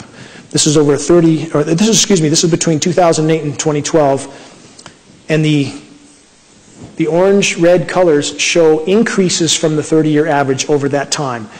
You see a couple of blue spots in Antarctica, um, but that's about it. So this is the overall, this is the true overall global picture. You see, you see some blues off the coast of North America, if you look at that. That's where they blanket spray 24-7, shuts off our moisture. This isn't the first year drought, we're in our sixth year drought. So from 2008 to 2012, they blanket sprayed the Pacific, we think in an effort to stop El Nino, to stop the El Nino event from happening, because that would have made global warming even worse. But what does that do to the rest of the planet when you shut off one of its natural mechanisms? So that blanket spraying all over the Pacific, it cooled the surface temperatures off there. But at what cost? At what cost? If it's killing everything inland, is, was that really a gainer? I don't think so. And this, this, is, this is a current map right now. This is through, uh, uh, excuse me, no, I'm sorry, this is an older map, but it shows a sequence. I'll show a newer one here. When you see a map that's that imbalanced, it should be a red flag. That's, that can't be created naturally, where you have half the country frying and another half below normal temperatures. So the darker colors are, are various stages above normal, the middle being maybe 20 degrees above normal. You throw a rock and you're in below normal temperatures. Another, this is a recent GIS map. Now, this is important to look at this map. As you see the blue colors over Canada and the eastern U.S., that's where heavy, heavy geoengineering is occurring. Geoengineering can and does cool massive regions temporarily at the cost of making the overall warming worse. So you have jet stream manipulation that pushes Arctic air down. You see even the Arctic is much warmer than Canada and the eastern U.S. So they can cool regions, make a lot of headlines. What's the real picture? That's the real picture. Global temperature records. Again, no downward trend there. Another GIS map, ocean temperatures, everything far above normal overall. If you look through the headlines and you start looking at global news, you'll find out it's a very different picture than our media is painting. And this is important to remember. Did the media originally paint the picture of global warming? Yes. Did they have an agenda for that? To saddle us with taxes and all sorts of burdens? Yes, they did. But now I think things have gone so far, they have definitely changed directions. They've doubled down on geoengineering, and now they're trying just desperately to hide the fact that a runaway greenhouse event may be occurring right now. Because if you look at the media right now, they are definitely not pushing a, a, warming agenda overall. Weather Channel, it's like their goal, their marching orders is to make it seem as cold as possible. And so there, there has been a, a directional change with what the media is doing. They changed their plans as well. Another GIS map, overall warming. This is ozone depletion, 84 to 97. The globe on your right shows massive depletion during that time. There's a massive northern hemisphere ozone hole, not speculation. Canadian scientists have been threatened with termination from their jobs if they talk about this. They're trying to hide it, and uh, people feel this sun in their face and they, they think maybe they're just getting older. No, the UV is, is exponentially higher than we're being told. UV rays, this is an important graph as well. We're told by all major metering agencies that 95% of incoming UV is UVA. This is the, the first presentation I've done where we've had actual solid metering behind us. That means 5% is UVB. That's the more harmful band. We now know that at least 60% of incoming UV is UVB. 60. That's a 1,200% increase in UVB. As I said, we're actually getting UVC, the last stage before X-ray. We are told by all major agencies UVC stops 100,000 feet up in the atmosphere. Not anymore. These are trees from Costco. They all look like this. Bark's gone. Trees look horrible. Nobody seems to notice, but they'll notice soon enough when there's no trees left. Dead branches sticking out everywhere. This is a typical stress response when trees have too much radiation. They start dropping branches, they start dropping foliage. We're seeing it all over the forest. Drought is only one issue. The, excessive UV is absolutely another. More trees from Costco, burnt bark. Well, this is the road we're on, and a lot more of our roads look like this now. When I moved up here 10 years ago, you couldn't find many. The forest was green and lush. Not so anymore. I live in a forest. I've grown up in a forest. I spent my life in forests. It's deathly silent there now. What do this is this is a map that's still applicable, even though this is an older map. You see the western U.S. is in protracted drought, while the eastern U.S. is now getting excessive moisture. As they try to create artificial cloud cover, it tends to migrate the moisture. So the moisture that comes over us is aerosolized. The storms come late if they come at all, almost no moisture, and they migrate that moisture further east, where it comes down sometimes in a deluge. So you get half the country in drought, the other half with excessive rain. How climate change makes wildfires worse. This is the sort of article that completely ignores the, the elephant in the room. Again, what about geoengineering? And on the fires in 2008, we know that during that week, you guys all remember the fires in 2008 probably.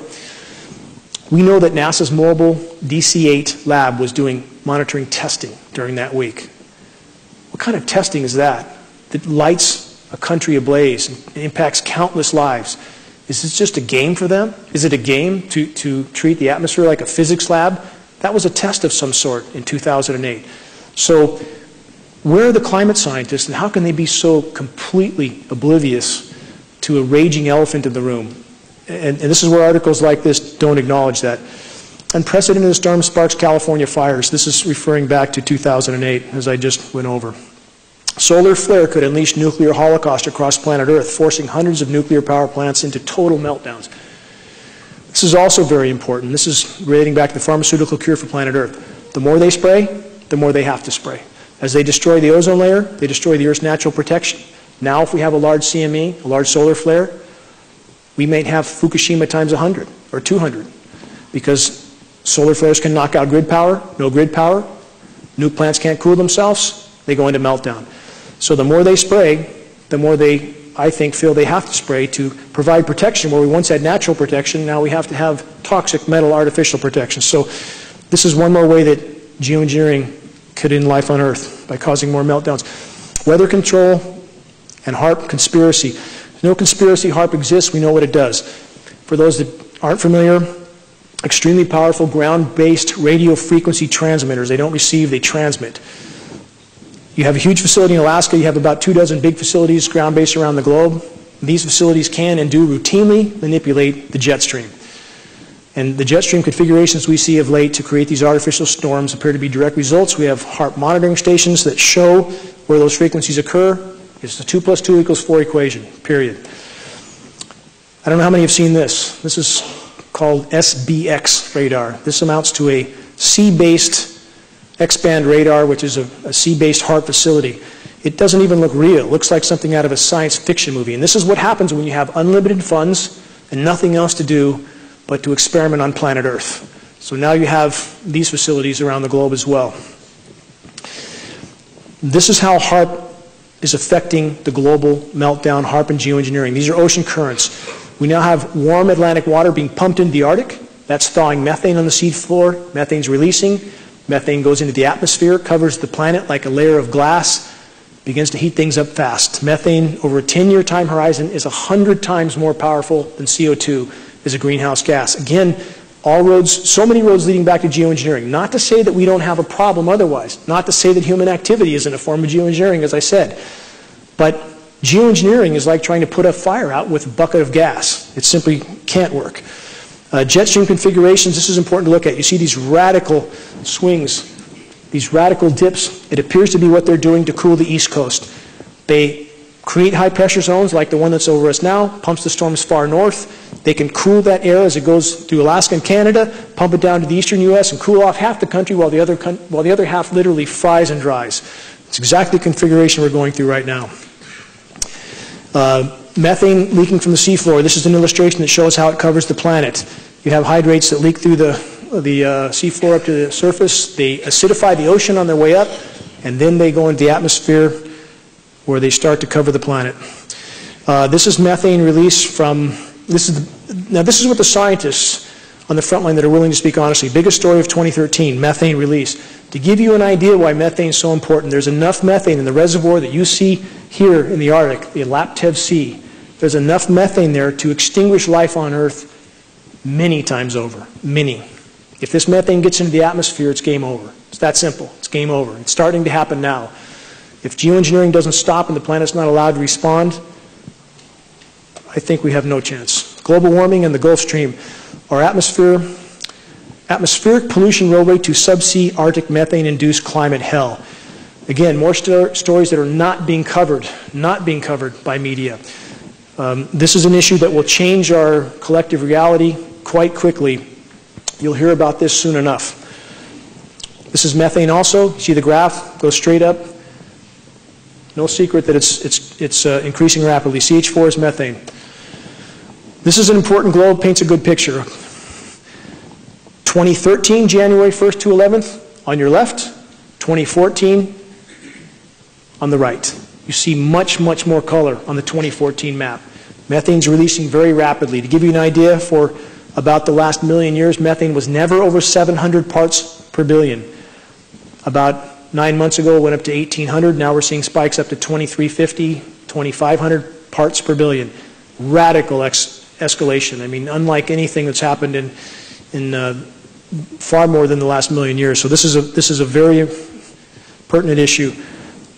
Helping the geoengineers to sell geoengineering. When we don't understand what's happening with the climate and we go along with some headlines and we take headlines as a source of information, right now, that's what the geoengineers appear to want. Why is the U.S. government trying to control the contents of scientific journals? They want to control scientific journals because that's how they control the scientific community. That's how they create the illusion of agencies like the EPA and, and, other such agencies that, that we're led to believe are there for our own protection, that we're led to believe would tell us if something's wrong. Couldn't be further from the truth. Absolutely couldn't be further. So as they control universities, which they do now quite well, they control the major peer-reviewed manuals. So you can have things like this happening in our skies completely obvious in your face things that the scientific community will not acknowledge. And when you try to corner them and acknowledge this, I was on a radio show with Simon Donner, one of the world's most recognized climate scientists, and when cornered and asked about these programs, he tried to make the case that he, no matter how much it looks like they're spraying, he said, I know they're not. And when I asked him how, how as a scientist, he could possibly say that he knows there's no spraying going on, click, I'm off the air that fast. So this is what you have. You have a, a, completely controlled system, and that's why we can have things like this happening without any media acknowledgement, any academia acknowledgement. HAARP again. HAARP, I, I want to go into what HAARP does in a few other scenarios. So that's another picture of HAARP. It's a very ominous and very, very dangerous installation. It's, it's literally ripping holes in the atmosphere. Here you have a HAARP signal. That's why I showed that image again. Now, that big, bright area over the eastern U.S. Guess what that is? Arctic vortex. The big headlines that we're all forced to believe that if, we, if you walked out the door, you would immediately turn into a popsicle. So, yes, there was cold temperatures, very cold. But for how long? And how historically unusual was this, and was it natural? And when you see the jet stream configuration, and you see these HAARP signals that manipulate that jet stream, there's nothing natural about it. Nothing. It was designed to create some headlines. They made the most of it. Anybody here who watches Weather Channel, it's absolutely astounding. It's like watching a, class, a, a cast of clowns who clearly have marching orders to paint the, the most frigid picture on planet Earth they can possibly paint. They don't talk about the fact that days earlier, for the, this big cool down in the Arctic, New York shattered its all-time record high by 10 degrees, 73 degrees in New York in January. Then it plunges down to the single digits, and then a few days later it's back up to 60 degrees and rain. So these fluctuations, again, back to the term climate change that I went over before, that's why they coined that term, so people would not question these massive changes as being unnatural. Why are thousands of dead birds suddenly falling from the sky? Well, when you blast the sky with massive radio frequency signals, it tends to cause some problems. And what people don't realize, I'm sure many of you have heard the birds falling out of the sky several years ago, happened again this January. What you don't know about several years ago, it happened in 34 places around the globe. Former Bush aide John Wheeler was seen outside the Pentagon threatening to, according to witnesses, blow the whistle on these programs. He was found in a landfill two days later. So this is certainly the big league, and, and if these programs were really brought to light, it would change the complexion of what we face. Geoengineered snowstorms wreaking havoc around the globe. This is very important to remember. There is no natural weather at this point. Even small-scale geoengineering programs would have the potential to disrupt the entire system. But in fact, we're seeing global programs. So the whole system has been rendered completely unnatural. If you look closely here, you see the massive spraying trails off the coast of California, this sort of aerosolization, which can start to set up for some of these engineered events. Mount Shasta snow holds 1,200 times normal levels of aluminum due to chemtrails, geoengineering. Many of you here that are local know that. We had lab tests off the side of Mount Shasta that measured 61,000 parts per billion. Now, you'll have a lot of people from the disinformation sites say it's normal. Aluminum's in the soil, it's the eighth, it's uh, 8% of the Earth's crust, third most abundant element. It's normal for it to be blowing around and everything. That's absolutely false. Aluminum does not exist in the environment in free form. It is always bonded to other elements. It doesn't blow around in the snow and the rain unless it's been mined and refined and sprayed. So it should not be in our snow, and it absolutely should not be in our rain, but it is. It's also the primary ingredients in geoengineering patents, aluminum oxide. So this should be no surprise. Ice storm, unprecedented in interior Alaska meteorologists say, this is only one example. But if any of you watch weather very closely, you'll see ice storms are now normal. Now, the, the, this parade of winter storms that we have, almost on a conveyor, there's almost always a boundary of ice storm between the rain and the snow. And now the Weather Channel meteorologists are trying to tell us that it's normal to have a warm side and a cold side to a winter storm. Since when? One side is, is tornadoes and thunderstorms. You throw a rock, you're in snow. There's nothing natural about this. Absolutely nothing. So the ice storms now are the boundaries between where they're trying to nucleate, and we can see the, the the aerosol programs going on on radar, where they have not cooled the air down enough for this to crystallize while it's falling. It hits the ground before it sets up. So now you have ice forming on everything, and you have ice storms now as the boundary layer between rain and snow as they're trying to nucleate these artificial, artificially engineered storms.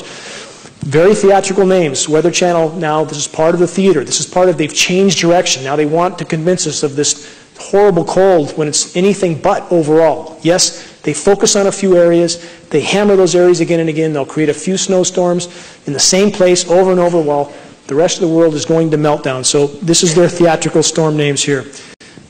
Very unprecedented jet stream movements. You see configurations like that, historically completely unnatural. It's how they push and pull air masses around.